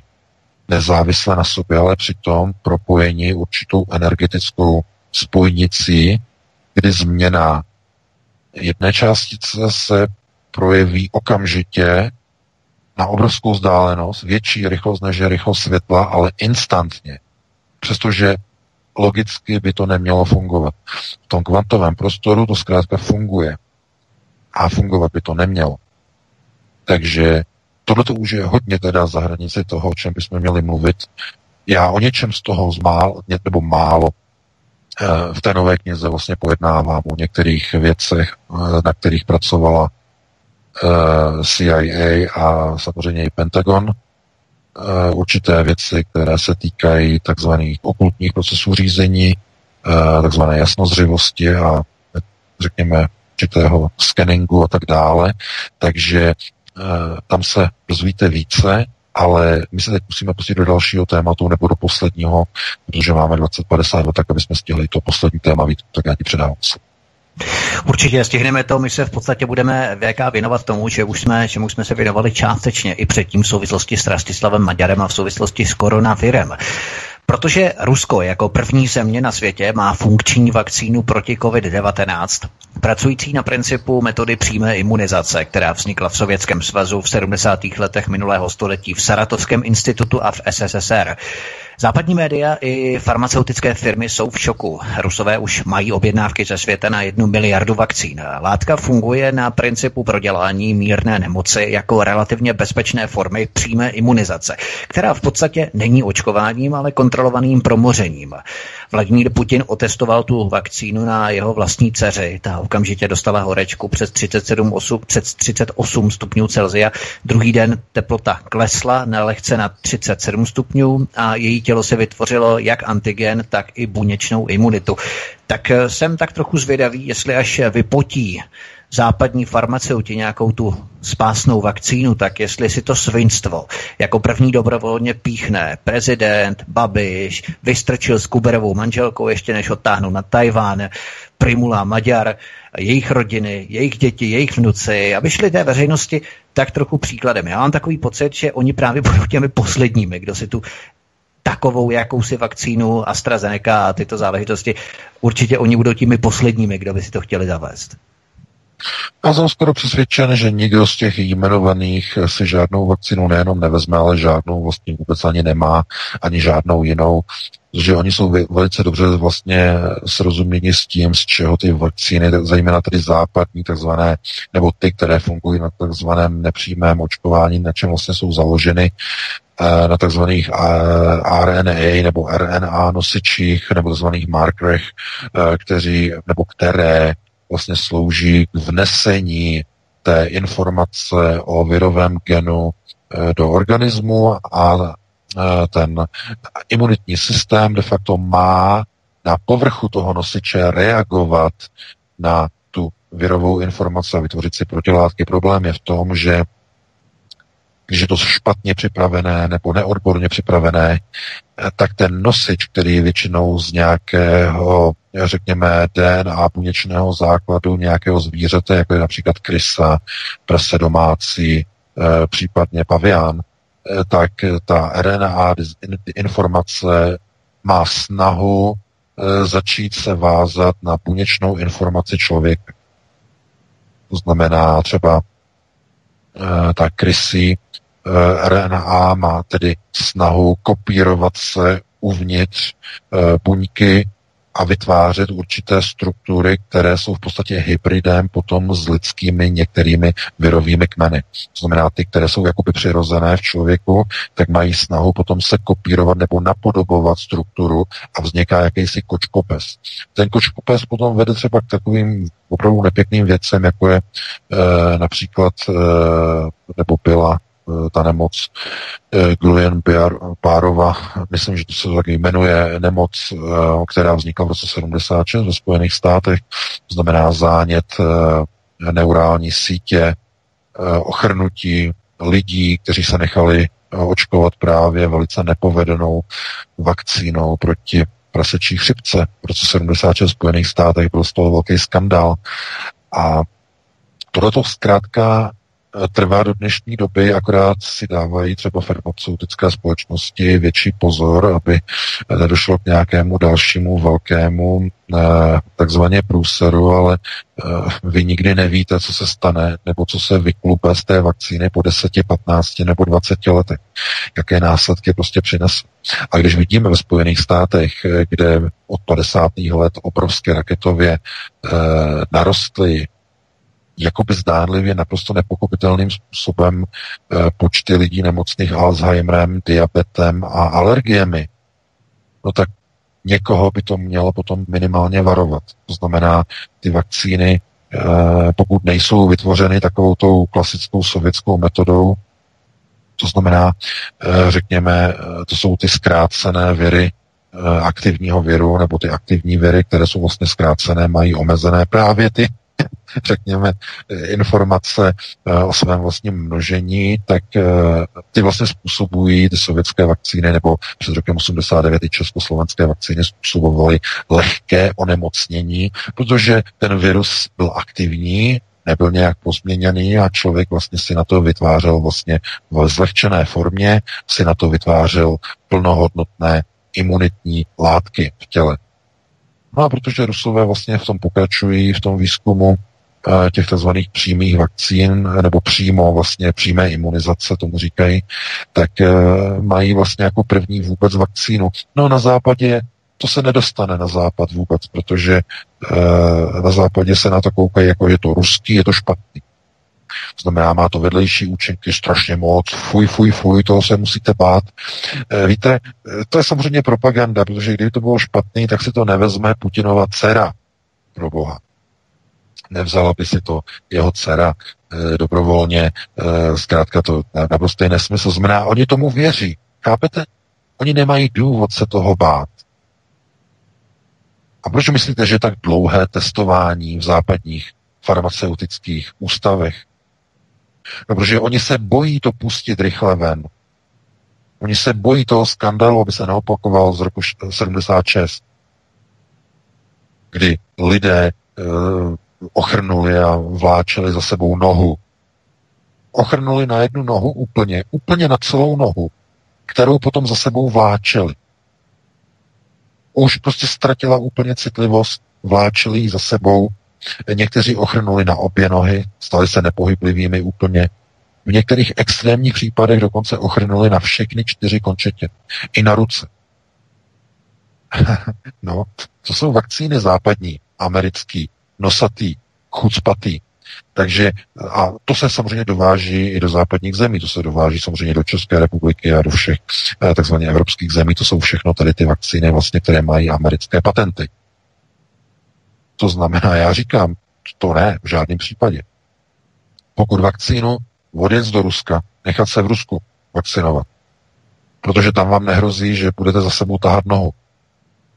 A jako to je opravdu něco jako neuvěřitelného. A víte, a e, lidi by si jako říkali, že kde se to jako pere, že jako ta nenávist proti tomu Rusku. No samozřejmě, tak samozřejmě ten, to je, je to všechno plán obkličování Ruska na všech prioritách. Oni jdou proti Rusku sankcema, oni jdou proti Rusku vakcínama, oni jdou po stránce, řekněme, poziční, geografické e, cesty, to znamená, e, obsazují země okolo Ruska, jako je Ukrajina, teď Bělorusko. To znamená obkličování Ruska. To je, to, ten proces jede. A mnoho politiků nechápe a nerozumí tomu, že když se posadí na jednu z těch židlí, to znamená na tu židli, eh, která je jakoby na straně domu Sion, to znamená eh, ten proces eh, směrem tedy útoku proti Rusku, tak by někdo jako řekl, že ti politici jako si uvědomí, že co tím riskují. A věřte tomu, že oni to neví, oni to netuší. Oni vůbec nechápou, komu poskytují služby. Vůbec. Protože i Andrej Babiš, minimálně, když jsme o něm vlastně mluvili v první hodině, tak by si měl uvědomit, že tenhle ten proces e, mu nezaručí nějaké vykoupení z nějakých problémů, které může mít nebo nemusí mít ohledně nějakého hnízda čapy a tak dále. To, tomu nepomůže zkrát. Prostě oni se na to dívají jinak. Oni se na to dívají, že ty teď sloužíš, ty nám pomůžeš a potom tě odkopneme. Nemůžeš s tím dělat vůbec nic. A e, věd, e, jako ani byste v podstatě ani netušili, kolik vlastně politiků tenhle ten model jakoby přijímá. Oni třeba i tuší, že tak to funguje a vůbec proti tomu nic nedělají. To znamená, ty posloužíš, tady nám něco prostě zařídíš a my tě potom necháme padnout. Nebo my tě odkráglujeme. Nebo my tě necháme zmizet. Nebo my tě povýšíme. My ti dáme trafiku Bruselu, když posloužíš dobře. Když se překonáš, takzvaně.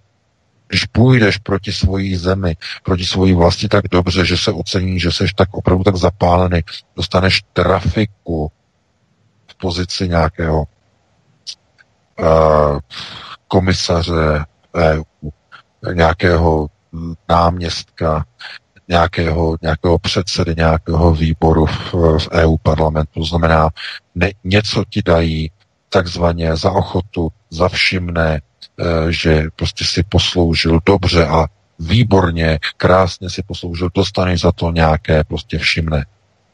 To je přesně to, co se stalo eh, v Československu po roce 90, když došlo vlastně k vyvedení zlata, k prodeji zlata eh, Československého národního pokladu. Říkám Československého, protože i, i vlastně Slováci prodali své zlato.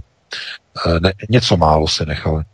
Tak e, to všechno šlo samozřejmě do Londýna a když došlo vlastně tady k tomu vybrakování a k likvidaci č, v podstatě hodnoty české koruny, když došlo k rozbití státní banky Československé, to znamená státní bank, a její transformace do soukromého subjektu s názvem Národní, Česká národní banka je soukromý subjekt. Nevím, proč tam je prostě to národní, to je, to je chucpe. To je chucpátko.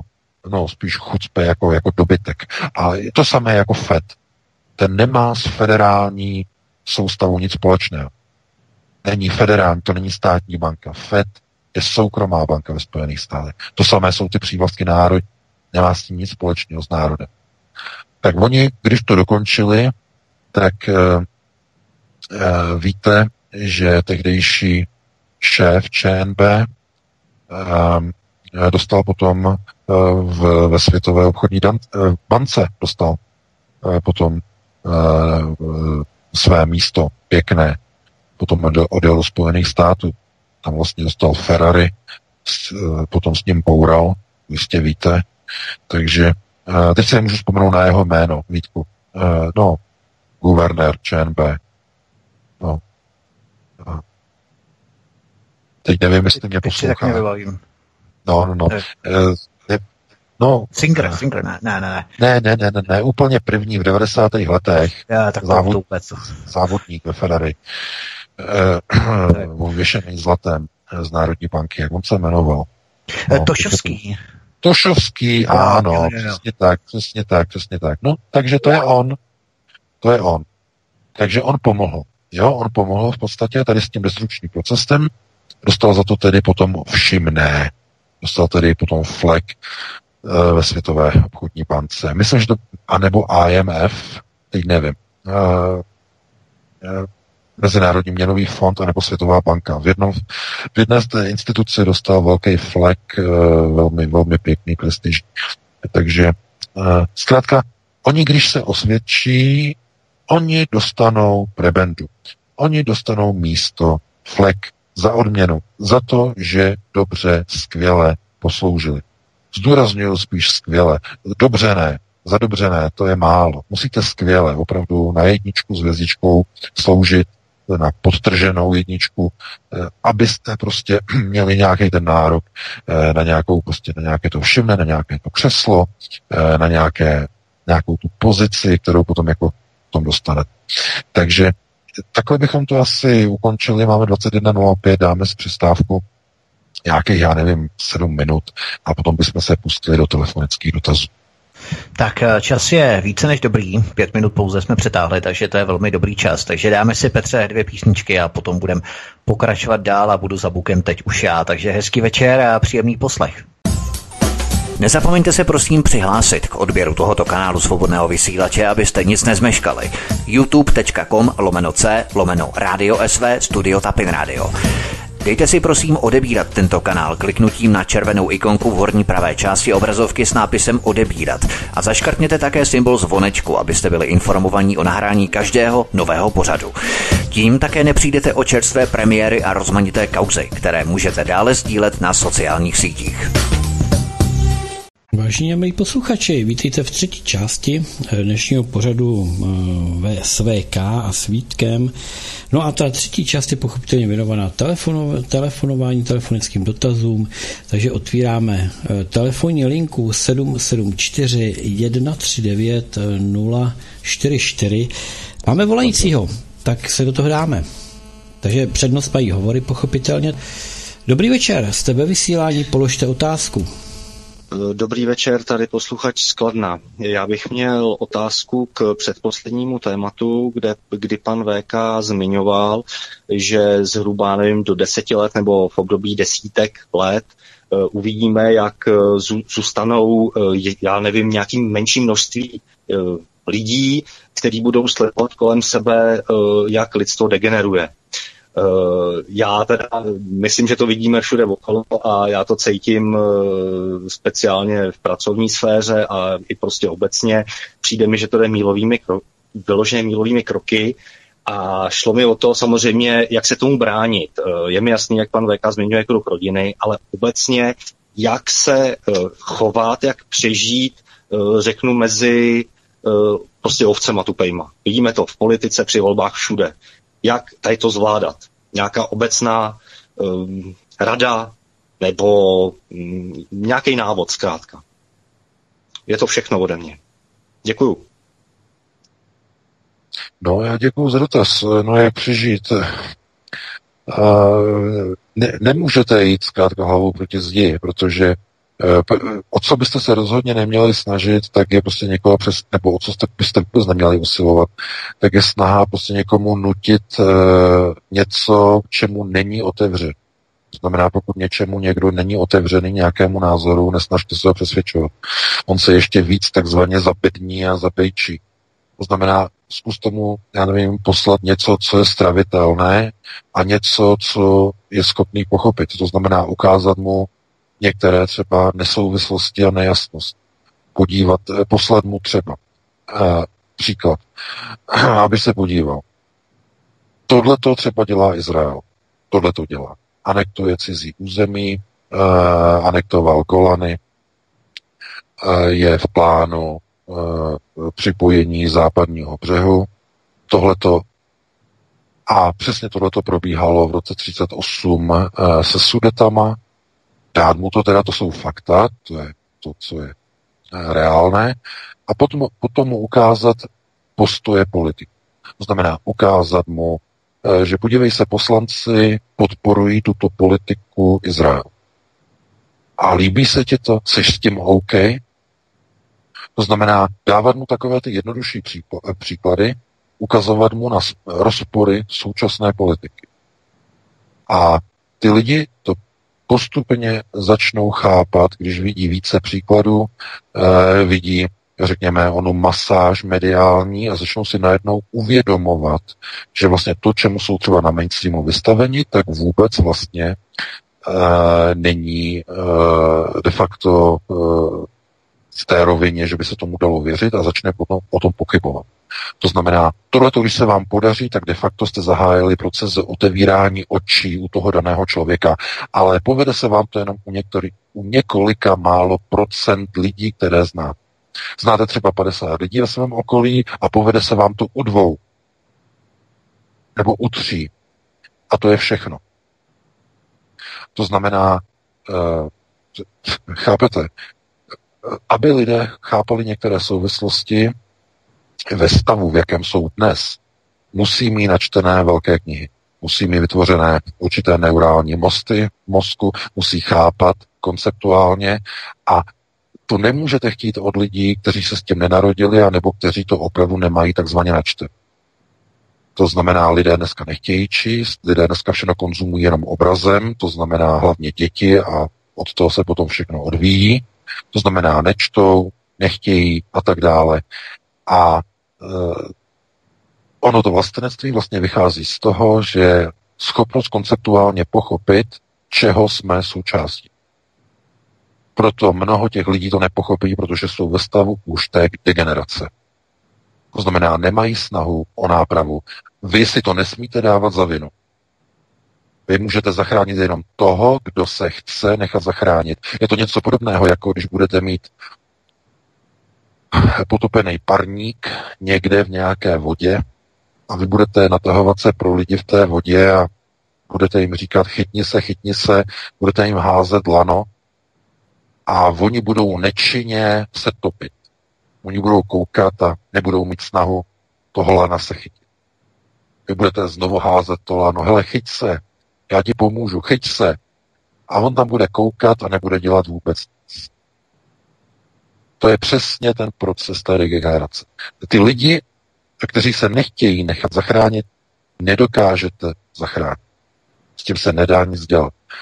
Jediné, co se dá dělat, je, že ta generace jednoho dne odejde a místo ní vyroste nová. Je to ten brutální proces. Dlouhodobé procesy na chápání obyčejného člověka jsou brutální, když si uvědomí, co všechno za něma stojí. Takhle to ale bohužel přesně funguje. To znamená, vy se můžete pokusit eh, z té skupiny lidí, které znáte, zachránit dva nebo tři lidi, které takzvaně, kterým otevřete oči, ale zbytek, zbytek je ztracen. Takhle doslova to můžete chápat.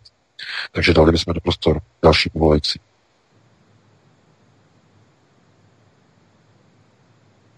Já vás vítám ve vysílání. Položte otázku, máte prostor.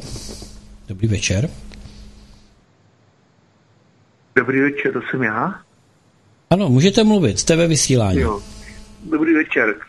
Já bych chtěl jenom říct tomu uvádějícímu přede mnou, že už několik let přispívám teda Aeronetu a i na soudní vysílač částkama na podporu vysílače a Aeronetu několik desítek tisíc korun celkově. A ještě se mi nestalo, že by mě někdo obvinil z terorismu. To je jedna věc. A druhá věc, chtěl bych sem pozdravit pana VK a mám takovou prozbu. Prosím vás pěkně, řekněte nám, jak to vypadá na řecko-tureckých hranicích tím konfliktem ohledně těžby ropy a migrantů a tak podobně. Děkuji vám. Pánem Bojem, naschledanou. Naschledanou, hezký večer. Naschledanou taky hezký večer a děkujeme. No, děkujeme.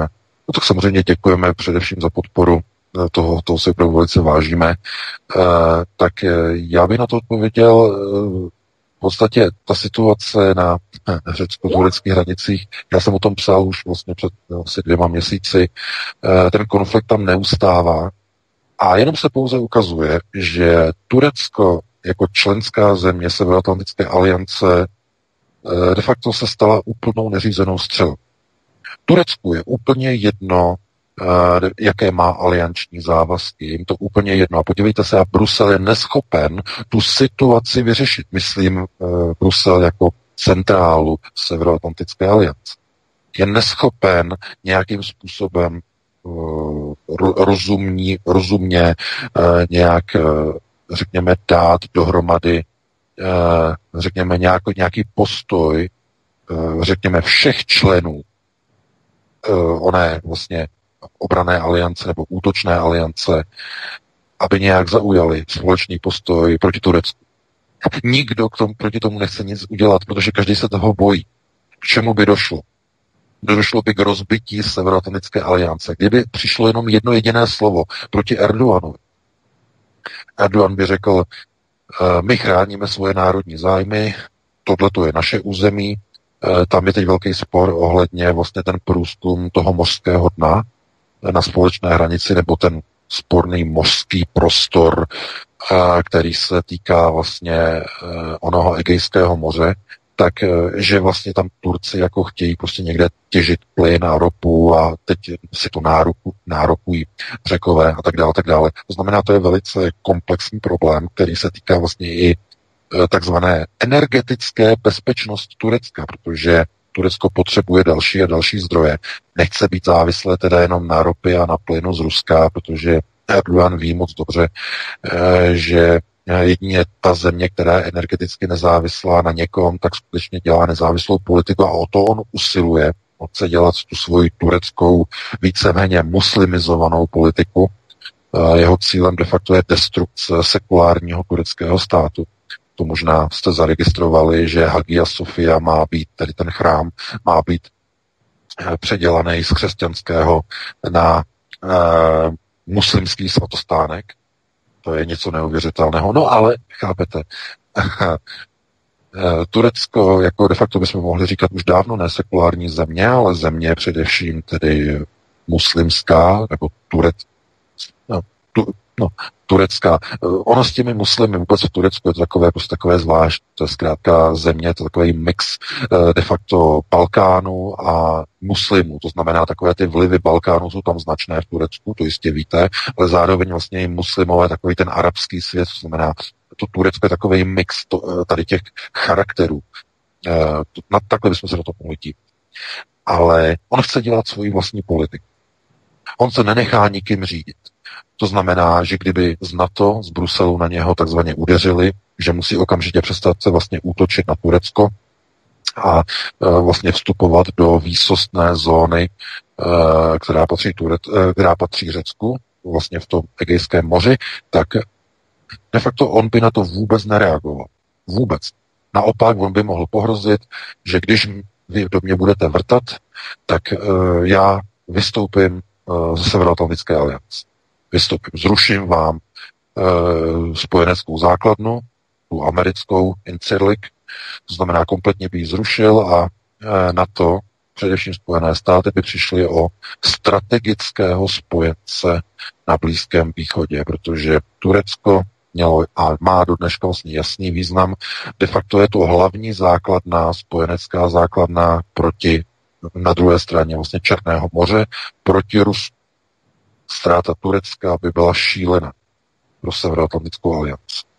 A on to ví, Erdogan to ví, proto si může klást podmínky Evropské unii, NATO, eh, tak doslova si je jakoby vodí za nos, to znamená, nikdo, je, nikdo není schopný vlastně na něho přitlačit. Eh, v nejbližší době nevidím dobré východisko pro Řecko. Řecko nemá zastání v EU, nemá zastání ani v Severoatlantické alianci a podle mého názoru Eh, bude snaha eh, tu věc takzvaně nechat vyhnít. To znamená, že Turecko v nějaký chvíli jakože samo se takzvaně vyklidí, cukne, couvne, jenže k tomu zřejmě nedojde a nikdo z evropské, řekněme, elity nebo z té garnitury vedení EU a Severoatlantické aliance do toho nebude chtít vrtat. Jinými slovy, Řecko bude v to plně samo. Některé státy budou ochotny mu pomoci, ale většinou jenom v nějaké limitní eh, podobě. To znamená v podobě eh, například eh, toho, že tam pošlou nějakou pomoc, několik pár policistů na hranice a tak dále, tak dále. To bude tak, tak všechno znamená symbolická pomoc, jenže Řecku proti obrovskému Turecku, které má největší armádu ze všech hned po Spojených státech, má ze všech zemí na to největší armádu, tak eh, to jim nepomůže. Turku, eh, teda Řekům to vůbec nepomůže. Řekové budou potřebovat jinou pomoc, aktivní pomoc, vojenskou pomoc proti, proti Turecku, které je členem NATO. A oni nebudou chtít ukázat před Ruskem a Čínou generálové v Bruselu slabost, že mají rozpor, že mají konflikt uvnitř vlastní aliance. To znamená, že by jakoby bojovali, přijímali operační plány proti vlastnímu spojenci. To by bylo neuvěřitelné chucpe, chápete? To znamená, že to nemá řešení. A povede to jenom k jedné věci, že řekové v tom budou ponecháni sami. Konec konců, to se podívejte na všechny politické procesy, které probíhají. Nikdo Řecku nechce pomoct. Řecko ticho popěší. Všichni se starají o něco jiného. Řecko jako kdyby neexistovalo. Přitom ten konflikt tam eskaluje, jak tedy na těch pozemních hranicích, tak i na moři. Takže eh, já to zatím nevidím nějak jako dobře pro Řecko a eh, Řekové budou muset eh, posílit svoji armádu, budou muset posílit námořnictvo. Otázkou je, kde na to zadlužené a po uši zadlužené Řecko vůbec vezme peníze. Takže Eh, takhle bych na to odpověděl, no a dáme prostor dalšímu volající. Má. Zdraví vás, dobrý hmm. večer, vítejte ve vysílání, položte otázku. Eh, dobrý večer. Pane VK, není prosím daleko, le, daleko větším nebezpečím zbrojový a to v kama, než zástupci obyčejného bílého gojinstva? To totiž nastane, když Chazar vyhladí všechny chasidy. Bez ovládnutí chazického Ruska Chazarátem nemůže dojít k nastolení sionistické verze nového světového řádu na tom samotný covid stačit bude, i když k tomu má být i dosti napomocný. Nestačí udělat z národu goru chemickou cestou ještě větší debily, dostat ještě více pod svoji kontrolu, když nemáte stále pod kontrolou ještě zcela všechny. Váš konkurent má stále nějakou tu jeho čas pod svou vlastní kontrolou. Je syndikát opravdu tak naivní, že si myslí, řekněme, že pan Ročil a po, po dobytí Ruska těch atomovek se prostě jen tak vzdají, myslí si, že nebudou chtít opustit pol této palety, kort, pokud to si obyvatelnosti tady půjde postupně do kytek. Podle mě jsou pro syndikát daleko největším nebezpečím přece jejich správci, kteří, jak jste již zde několikrát pověděl, nechtějí být už jen správci této planety, ale chtějí být již jejími majiteli. Následují to svoje ono proroctví z Talmudu a vy říkáte, že se jim ten syndikát po nastolení NVO poklodí. To znamená, že oni tu přeberou řízení a syndikatu tudíž končí.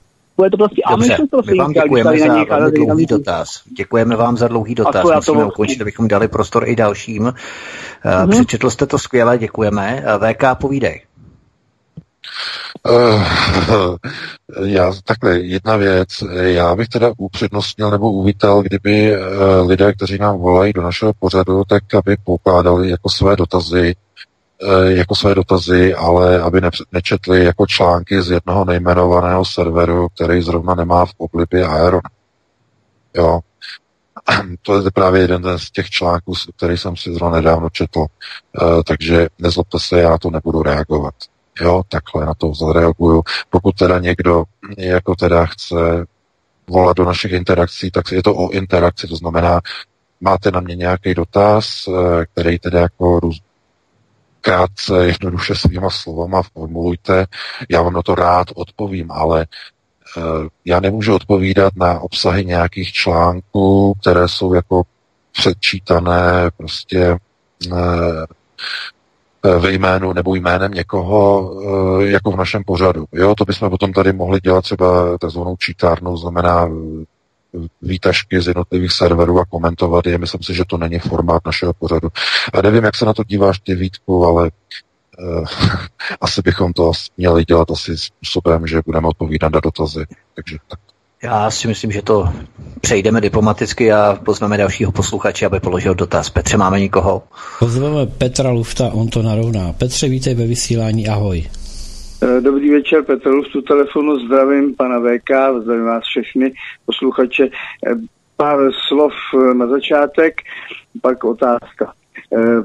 Strejda z Bradatej s dvouma bradama přijel do, do Prahy, do České republiky venek jaksi z tématy COVID a bezpečnost energetická a spolupráce a tak dále a nebezpečí Ruska, Číny a to je oficiálně. Pak jsou tam v pozadí samozřejmě ty noty, jak eh, rozvrátit Bělorusko, připravit nástup opět do té země, aby si tam udělali základny a mící.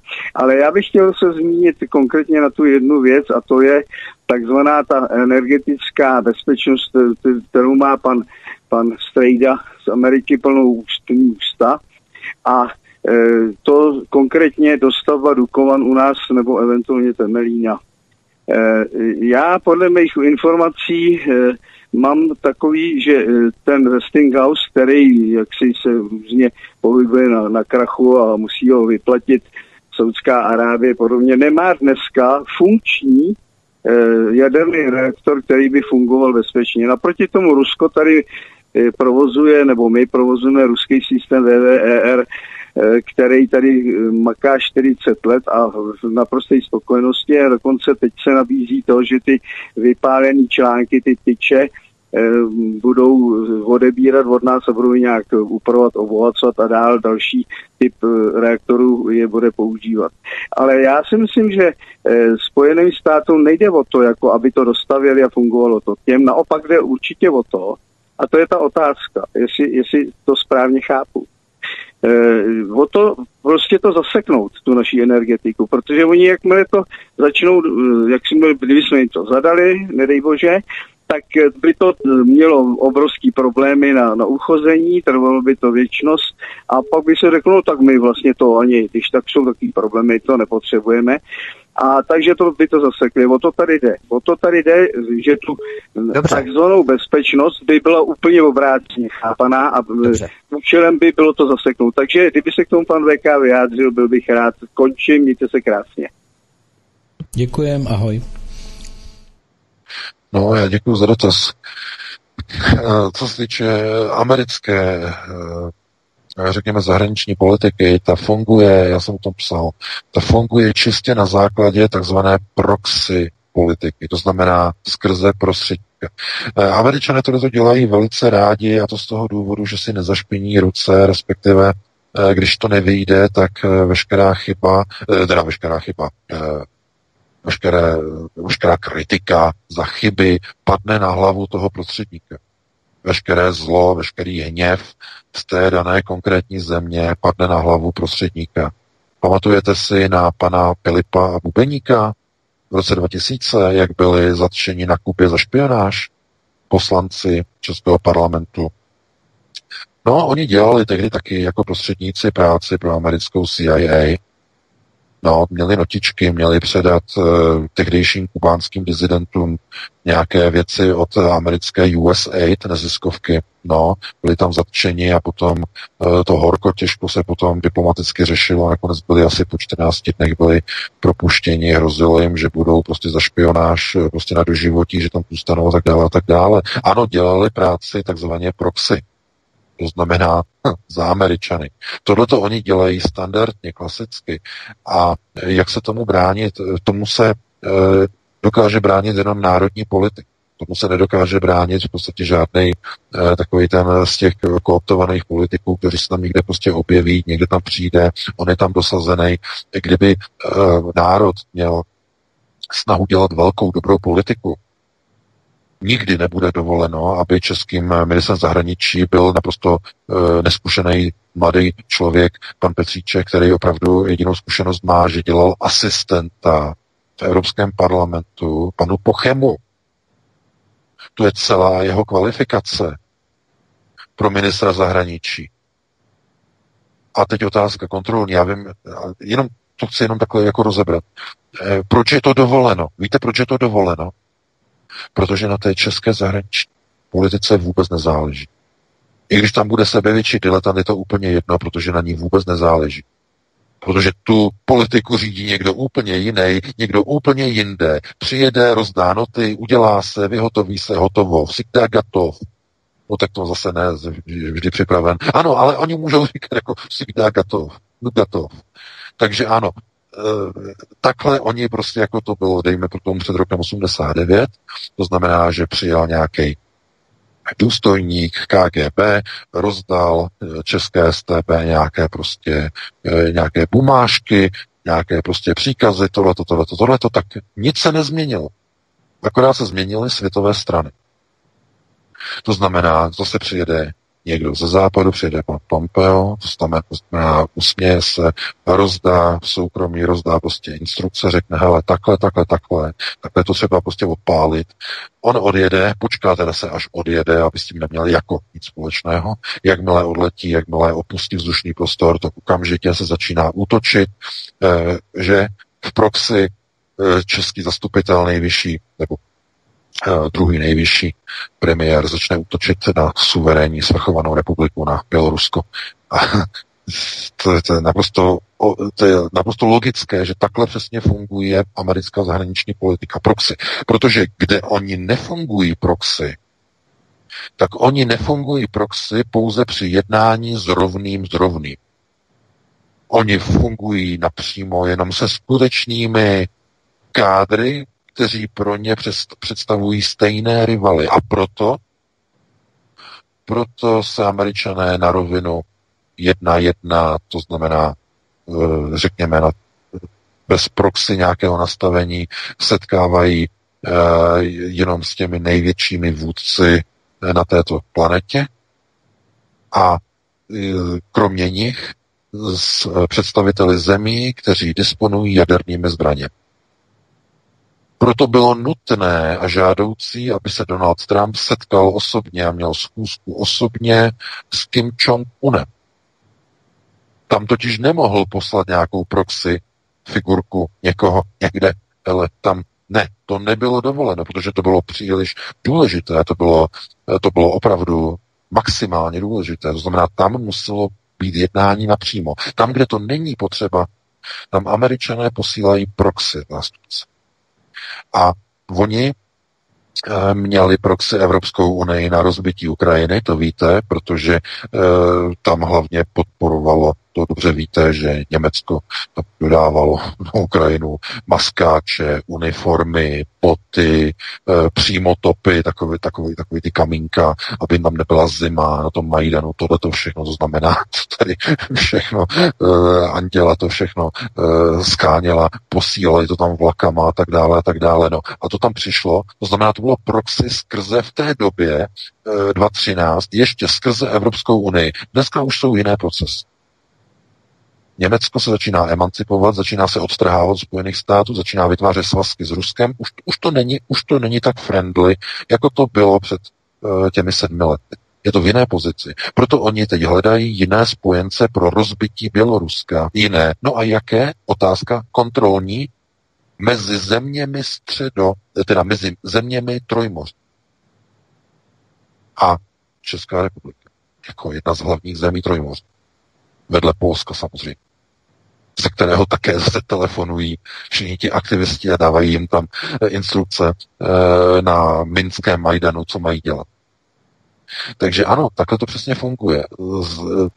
Jak se proti tomu bránit? Mm, jedině národní politici. Pro národní politici by se tomu dokázali bránit.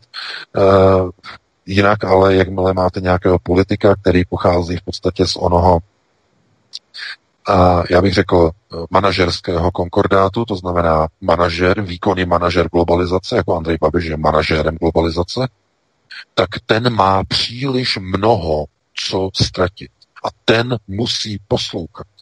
Kdo má co ztratit, ten musí poslouchat. Tohle to si jako dobře zapamatujte, někam si to zapište. Kdo má co ztratit, ten musí poslouchat. No, takže takhle bych na to odpověděl, no a dáme prostor dalšímu volající. Budeme mít někoho. Dobrý večer, jste ve vysílání, tak položte otázku. Prosím stručně. Dobrý večer, posluchač z Prahy. Eh, já jsem se chtěl zeptat, poslouchám pana Veka vlastně už teďka léta a musím říct, že je to jeden z největších štítů oproti eh, té toxicitě z, z mainstreamu, za což mu chci poděkovat. Přečetl jsem jeho první a čtu teď druhou knihu a jak on mluví o těch tlustých knihách, tak eh, jsem se chtěl zeptat, momentálně čtu od Jan van Helsinka eh, tajné společnosti Válka svobodných zednářů. A chtěl jsem poprosit o třeba jednou, dvouvětnou, jenom grafický popis, jak to tady funguje, Ž a Ž versus zednáři, který z těch Jarmulka, Zásira, který jsou ty zednáři a jestli vlastně je to identická, jestli je to jedna skupina. Děkuji moc krát, budu poslouchat. Děkujeme. No, já děkuji za dotaz. Já jenom velice rychle, protože to je strašně komplexní téma, to maximálně uh, zjednoduším. Jarmulky zástěry jsou dresy, Představte si jako dresy na fotbalovém hřišti. Jedenáctka, jedenáctka. Hrajou na hřišti, to hřiště má pravidla, má rozměry. To je globalizační hřiště. Jedna jedenáctka má jedny dresy, barva třeba červená, druhý nebo druhá strana taky jedenáctka, dresy modrý. Ti, co mají červený zástěry, si představte jako jarmulky, ti druzí, to jsou zástěry hrajou mezi sebou nějakou hru. Ta hra může připadat jako, jako nějaký zápas, to znamená, eh, řekněme, uh, uh, kopou proti sobě ten míč, to znamená, to jsou procesy řízení. Ten míč ze strany na stranu jednou drží oni, drží v moci globální procesy řízení. Proč globální? Ten fotbalový míč je kulatý jako planeta Země. Proto oni používají přímě kopacího míče a jedenáctky. E, kopají mezi sebou jednou na jedné polovině, potom na druhé polovině, potom skórují, dají gol, to je velký zásah, to znamená velká ztráta jedné strany, velké vítězství druhé strany. Jenže vy, vyprší nějaký časový interval, oni si podají ruce, odejdou a jsou největší přátelé. To, co se hraje, de facto na tom hřišti a co se odehrává v jednotlivých zápasech, tak je hra o světovou vládu. Ale ob, oba dva týmy vycházejí ze stejného principiálního základu, to znamená oba dva e, týmy jsou národem vyvolený, to znamená národem židů. Oba dva hrají podle určitých e, pozičních konceptů. Poziční koncept na straně Jarmolek je Tóra, poziční koncept na straně zástěr je Talmud a snaží se de facto jednotlivými koncepty proti sobě uh, vstřelit gól. A tím gólem si můžete představit právě tu planetu Zemi, že ji posunou do nějakého procesního rámce, který už je nevratný, protože to skóre na tabuli naskočí a už se nedá vrátit. To je ta jednosměrnost globálních procesů a potom se pokračuje a padne další gól, buď do jedné brány nebo do druhé. Tohle je nejjednodušší vysvětlení toho, co je to že a že. A e, já vím, že to je velký příměr nebo přesah je vlastně k fotbalu, ale e, jenom chci ukázat, že hraje se o velká vítězství, o velké věci, ale tím hlavním cílem je světová vláda, světová kontrola. Nicméně oni mezi sebou nebudou nikdy používat takové věci, jako že by proti sobě vytáhli, já nevím, e, nějaké řekněme, procesy nebo nějaké prvky, že by zneuznali druhou stranu. Oni se možná eh, dokážou dostat do situace, kdy se pokusí oslabit hráče různými fauly. Třeba takovým faulem, jako třeba byl, byly procesy holokaustu za druhé stové války. To znamená oslabit druhou stranu a byla oslabena. To, to jsou fauly, obrazně řečeno, to jsou fauly, které jako jsou nedovoleny, ale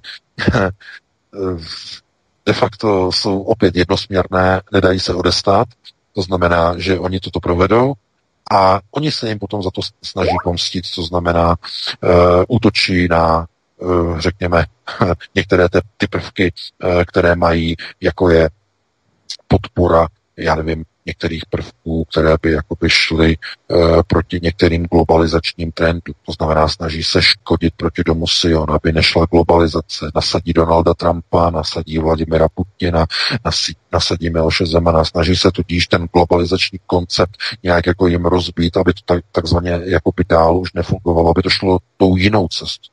A ta jiná cesta je cesta teorická. To znamená pod čepcem. Ale Eh, ten míč globalizační je stále ve hře. Ten je tam pořád. To znamená, ten se, eh, ten se neosamostatní, ten je stále na nohách obou týmů. Neustále do něj kopou a přesouvají z jedné poloviny hřiště na druhé. Kopou do něj. No a každé kopnutí je cítit. Minimálně pro ty gojské národy. Jednou tam, jednou tam, jednou tam, jednou tam. Takže to je takový, takový ten příměr nebo přirovnání. Na to bychom jako opravdu měli asi hodně dlouhé povídání. Takže já bych tady to takto zodpověděl no a pustil bychom se do dalšího uh, volajícího, pokud máme teda. Vika, ještě posluchač se jenom připomínal, eh, jestli do toho schématu, eh, jak to bylo jako popsáno, lze zasadit ten vztah k zednářům. Jakoby zasadit ten prvek zednářů do toho schématu. Eh, pozor, eh, zednáři, já vím, eh, co se týče zednářů, nebo řekněme takzvaných zednářských klubů, to znamená technologů, zednářské kluby jsou kluby, které mají za úkol principiálně, to důležité, principiálně goje, kteří v podstatě začnou sloužit, ukotvit do určitých procesů okultního řízení, základů okultního řízení. Od toho jsou zednářské lože. A e, není vil, takto. Oni, co se týče e, samotných židů, tak e, oni mají jenom jednu organizaci, která je čistě jejich, je to nejvyšší organizace, která zastřešuje zednářské lože a to je B'nai Beris. A tam oni přímo vstupují, přímo židé, přímo do této organizace, ale co se týče obyčejných, nebo neříkejme obyčejných, ale těch známých, jak tedy zednářských loží, tak i velkých loží, to je něco jiného, eh, konceptuálně jiného, tak do nich vstupují především gojí. Není, není vyloučeno, že tam můžou být tedy i poloviční židé, eh, například po otci, ano, mohou být, a není to, není to nějak výjimečné, ale Přestože jsou to organizace, které jsou řízeny židovskými procesy řízení, tak až na výjimky jsou v nich zaučováni gojím pro procesy, pro nižší procesy řízení. A tím se ti lidé stávají velice nebezpečnými svýmu gojskému okolí. Proto se nemůžete divit, že okolo těchto organizací se pohybují různí lidé, různí kádři, různí politici, různé Aspen instituty členové. Potom se divíte, proč je třeba ministr vnitra členem Bakalova Aspen institutu. Jiní jsou členy Aspen institutu. To znamená, to jsou všechno kluby, které eh, de facto dávají lidem nějakou pozici a stejně jako ty zednářské kluby, které se týkají především tedy poskytování informací o určitých základních a primitivních uh, procesech okultního řízení, uh, tak uh, ty organizace, které jsou jakoby mimo organizované, to znamená jako třeba různé Aspen instituty a tak dále a tak dále, tak ty se pohybují v podstatě na té straně jakoby předstupňů lidí, jakým způsobem si zaháčkovat některé lidi, aby takzvaně byli přístupní pro nějaké procesy řízení, aniž by bylo rozhodnuto o tom, že jsou jim poskytnuty přístupy k okultním procesům řízení. To znamená, ta zednářská lože je umístěná hierarchicky nad civilními ložemi. Civilní lože jsou Rotary kluby, různé Aspen instituty. Ty jsou úplně dole. Nad nima jsou zednářské lože, protože ty už zasvěcují do okultních procesů řízení. Nad nimi úplně nahoře, to znamená ještě nad uh, zednářskými ložemi, jsou lože uh, ilumináty. Ilumináty to jsou zasvěcenci. To jsou zasvěci. To jsou de facto elity, které byly zasvěceny do principů okultních procesů řízení daleko více, než jsou zednářské lože. A celý tento segment zastřešuje B'nai B'rith, to znamená bratrstvo smlouvy. Tohle to všechno. Není to to, co by bylo nadřazeno, ale zahrnuje to všechno jako obálka dohromady B'nai B'rith. Proto uh, hierarchické dělení je pouze uvnitř, ale to objektové členění je zahrnuto pod řád, nebo řekněme pod organizaci B'rith. A v ní se nacházejí už potom ti skuteční opravdoví židé. Protože oni jsou tou zastřešovací obálkou těchto, těchto menších, nízkých nebo takzvaně nižších organizací. Takže takhle bych na to odpověděl. Eh, já, já vím, že to by to bylo třeba ještě jako rozebrat ještě víc do hloubky, ale to fakt nemáme čas. Uh, takže máme 21.57. No, ještě asi na otázku, možná poslední. No, no, no, no. Hmm, tak poslední otázka přišla SMS-kou, nemáme volajícího, přišla z Ameriky. Mám otázku pro VK. Kdo je, budu to číst, jak to je napsáno, Sorcha Faal? Pokud je s tímto zdrojem obeznámen, dá se tomuto zdroji věřit, nebo je to naopak zdroj, který je lepší vynechat? Děkuje Petr. Eh, ještě jednou to, jak je to napsané, to mhm. slovo? Sorcha faal. Sorcha fa. Ne, ne, ne, to mi mhm. opravdu, to nevím, to mi, mm. to mi nic neříká. Jestli to slyším tak dobře, jak to říkáš. Jo, jo, so, opakoval jsi to dobře. To, to jsou dvě slova nebo jedno slovo? Dvě slova. To, to opravdu ne. Sorcha fal? Ano, dvě A. Nevíme, tak asi nevíme, zkusíme ještě další dotaz. To je jako, jako, jako, jako search of fall, jako fall, jako podzim? Eh, F a al. No, ne, ne, to ne, to ne. Podzim je fall, že jo, to fall. To, to by bylo lolo. Tak. Mm, dvě A, jedno Máme ještě dalšího volajícího, abychom Nemáme, to, nemáme volajícího. Tak asi budeme končit, protože Máme... nic se nedá dělat. No, Lidé chlapi, na konci tady nevolají. Eh, teď jsem to našel na internetu, no, Sorcha Fall, Sorcha Fall 2A, ale to jsem opravdu nikde neviděl. No, já se na to možná podívám. Fakt nevím, nevím, nevím. Nevím, nevím, kdo to je, nevím ten blok, co to je za blok, nevím, netuším. Já vím, že nás už se na to také někdo ptal, dotazoval a mm, taky jsme nějak tomu nevěnovali pozornost, eh, že by to bylo něco, s čím, bychom, čím bychom nějak souzněli nebo něco. Takže možná někdy příště, no. Tak se omlouvám Petrovi. Jenom, jenom, jenom Vítku, eh, ještě potom mi zavolej eh, po skončení vysílání, jo? Vítku? Jasně, tak ještě něco no, potřebuju. Tak, tak no, něco no, potřebuji ještě. Já nevím, máme 21.59, tak Máme volajícího, jestli chcete dotaz. Tak, tak poslední. poslední. Stručné, myslím, že i odpověď, aby byla stručná. tak zkusíme, zkusíme volajícího. Dobrý večer, jste na ostro přímo ve vysílání, položte otázku. Halo, halo, slyšíme se? Halo, halo, slyšíme se? Halo? Tak, asi halo, zřejmě bude slyšíme se? No to je, nějak nám to nefunguje. Ne, nefunguje. Vydržme, tak vydržme. budeme končit, nedá se nic dělat. tak já, slyšíme se? Můžu mluvit? Jo, už jste, no. jste ve vysílání, tak položte otázku, jste úplně poslední, kdo může dneska dávat nějakou otázku. Tak povídejte. Ano, ano dobrý večer, já budu rychlý. Já jsem se chtěl jenom zeptat, tady Libor tedy. Uh, u západní vakcín se uvádí, že budou fungovat jako na určité verze viru. Něco podobně jako ty chřipky. Chtěl jsem se zeptat, uh, to ruský, ta ruská imunizace pokryje to jakoby celou tu mutaci těch virů, anebo to bude taky fungovat jenom na určitý jako ty verze toho viru. Děkuji za odpověď. No, já děkuji za dotaz. Na to je od, odpověď velice jednoduchá. Bude to fungovat pouze na ten daný kmen toho viru, eh, na který ta vakcína byla vyrobena. Což je teda samozřejmě velký problém, protože eh, vzhledem k tomu, že ten virus, tedy koronavirus, mutuje velice rychle, tak ta vakcína bude eh, tedy na ten daný kmen reagovat pouze po tu dobu, co vlastně ve společnosti mezi lidmi ten kmen se bude nacházet v dané podobě virové, to znamená toho RNA kmenu, a eh, ve chvíli, kdy zmutuje, tak to přestane fungovat.